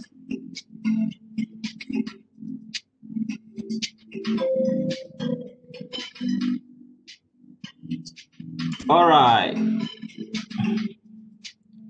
All the panelists, can we end the quiz now? Sure. All right, so five, four, three, two, one. All right, that's all. So the first place goes to Ira. Second place goes to Irfan. And um, the third place goes to Nana. Okay. All right. And the fourth place goes to Nida and number five, Paraliana. I think um I have uh, increased the prizes. Okay, so we we will give to five top winners. Is it okay for all panelists? All right. So we discuss about the questions. Okay. Number one, which of the following item is not the electrode in the voltammetry? So what Conducting is the answer? Conducting electrode. Conducting electrode, right? This is not okay. The uh, answer. Okay. Um, in voltammetry, what are the common parameter involved? Potential current. Potential and current. So the migration of particles in the solution are in these three ways except immigration, migration, convection, and diffusion. And Immigration. immigration is the I like that. no, it's not the way for Oh, immigration because of COVID. because of the COVID nineteen. okay, which of the following electrodes are often used as a counter or auxiliary electrode in voltammetry? Polymer electrode, carbon paste, platinum wire, and mercury thin film. So the answer is platinum wire. Okay. And then, uh, which of the following voltammetric technique enhance the sensitivity through improving the Faraday current? Stripping voltammetry. All right. Which of the following voltammetric techniques enhance the sensitivity through elimination of the background current? Pulse voltammetry. Okay. So the vital reason for choosing voltammetry instead of other method is simultaneous detection of different species. All right. That is a specialty of the voltammetry. Um, why the gold electrode is used when detecting the arsenic species in wastewater treatment? Due to the positive potential of arsenic. All right. Voltammetry is limited to analysis of inorganic samples only. True or false? False. All right. Because we can we can also detect the organic analytes. Okay. The main purpose of electrode modification is to decrease the detection limit. True or false? True. All right. We need to lower the detection limit. Okay. Dip coating process is one of the methods for electrode surface modification. True. Right. And the last one is a graphene oxide is not a carbon nanomaterial. False. All right. This is it is the carbon nanomaterial. So so I hope that um you are satisfied with the result. Okay. Um, where can I see the result of the of the players? Okay, here. Okay. Can I view full report? Okay, there. Okay. The accuracy, 50% answer correctly. I think it's achieved uh, the, you know, the objective today. Half of the participants can answer the, the uh, or, or, sorry, half of the question answered correctly. Okay. All right. Um, okay, for those who uh, who classi class classified as the uh, top five winners, okay, I will give the a link for all of you to fill for your um, information for us to you know, you know to give you the price Okay. Uh, the information is only about your names, your university, and your address, and so on. I will give the form in the comments in the Facebook Live comments. All right. And then, um, Dr. Joy, Yes. I think uh, there's one last question. I think this is from far away from here. I think from Saudi or where? from Abdul Fakir. Uh, can can we can we add one more question to you? Actually, I read the question. You read Uh, the question. It's in corrosion, right? The reference electrode in corrosion. All right. Actually, I have no idea on how to answer this question because uh, corrosion system is very different from voltammetry uh, because of the corrosive, as you as you can see, Yeah. corrosive nature of the experiment. So Yes. I have actually, I'm not an expert uh, in terms of the reference electrode for corrosion experiments. So I don't think I can contribute something meaningful in this question. So I would rather not pretend to know everything this time. Yes. okay, thank you. So apologies, apologies for missing that question. Thank you. All right. Okay. Thank you. Okay. I think um that's all for today for our online global classroom voltammetry, a practical beginner guide. The topic uh, chosen for this uh, online global classroom is, you know, um, is very catchy because um, for the beginner, we share the practical guide. Okay. All right, and, and then I start with the theory and come out with, uh, and then after that, uh, followed by uh, Dr. Joy have explained about the uh, techniques and methods in voltammetry, and then uh, followed by Dr.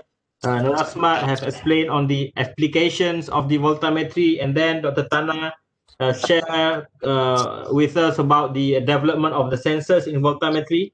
I think that is quite enough as a practical beginner guide for us in voltammetry.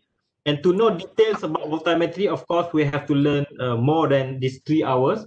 Okay. And if you have uh, another questions or you have uh, another, you know, another thing to discuss with us, you can have our uh, email. Okay. I will. Uh, uh, then some of us are asking about the slides. Okay, I would like to ask all the panelists. Um, they they are asking about the slides. Can we share to them in in in the PDF form? All right, Dr. Joy say good. Dr. Tana say good. Dr. Asmat. Okay, okay. I will All right. to you. All right. So I will um I will uh, compile all the slide in the form of PDF and I will give to those who are you know interested with the slide. Okay. And then uh, um, for now, I would like to thanks all the panelists, okay, especially to our distinguished guest, uh, so Professor Dr. Jose Hernandez Santos or Dr. Joy, okay, and then um, Dr. Nurasmat Ahmad Shukri, okay, Dr. Joy is from University Brunei Darussalam, okay, Dr. Rasman is from USM, University Science Malaysia, um, Kubang Kerian Campus, Kelantan, okay.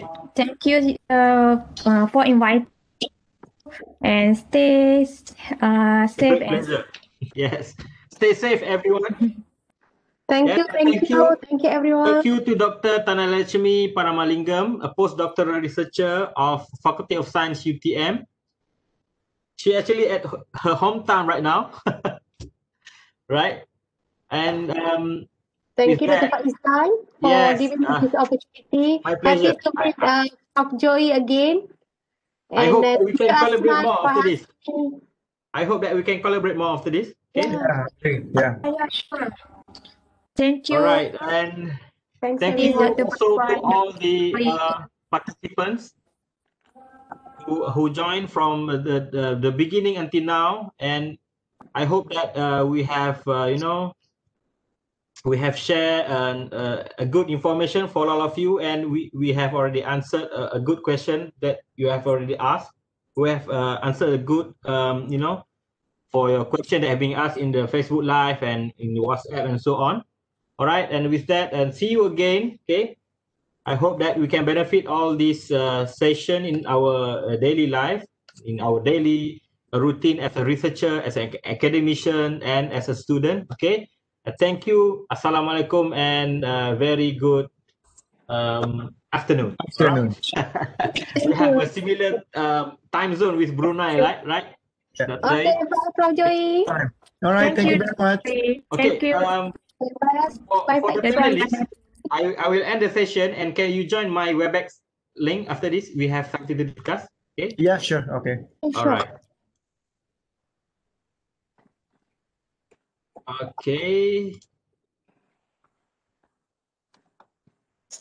I will end the session wait for a while. I'm the host right now. No more uh, Faculty of Science host.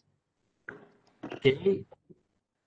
So we don't have to go Bye. anywhere because Bye, you're here, right? Uh, all the panelists see in my WebEx uh, link. Okay. Okay, so we get off here. I get off. Okay. Yes, I will end the meeting. Thank you.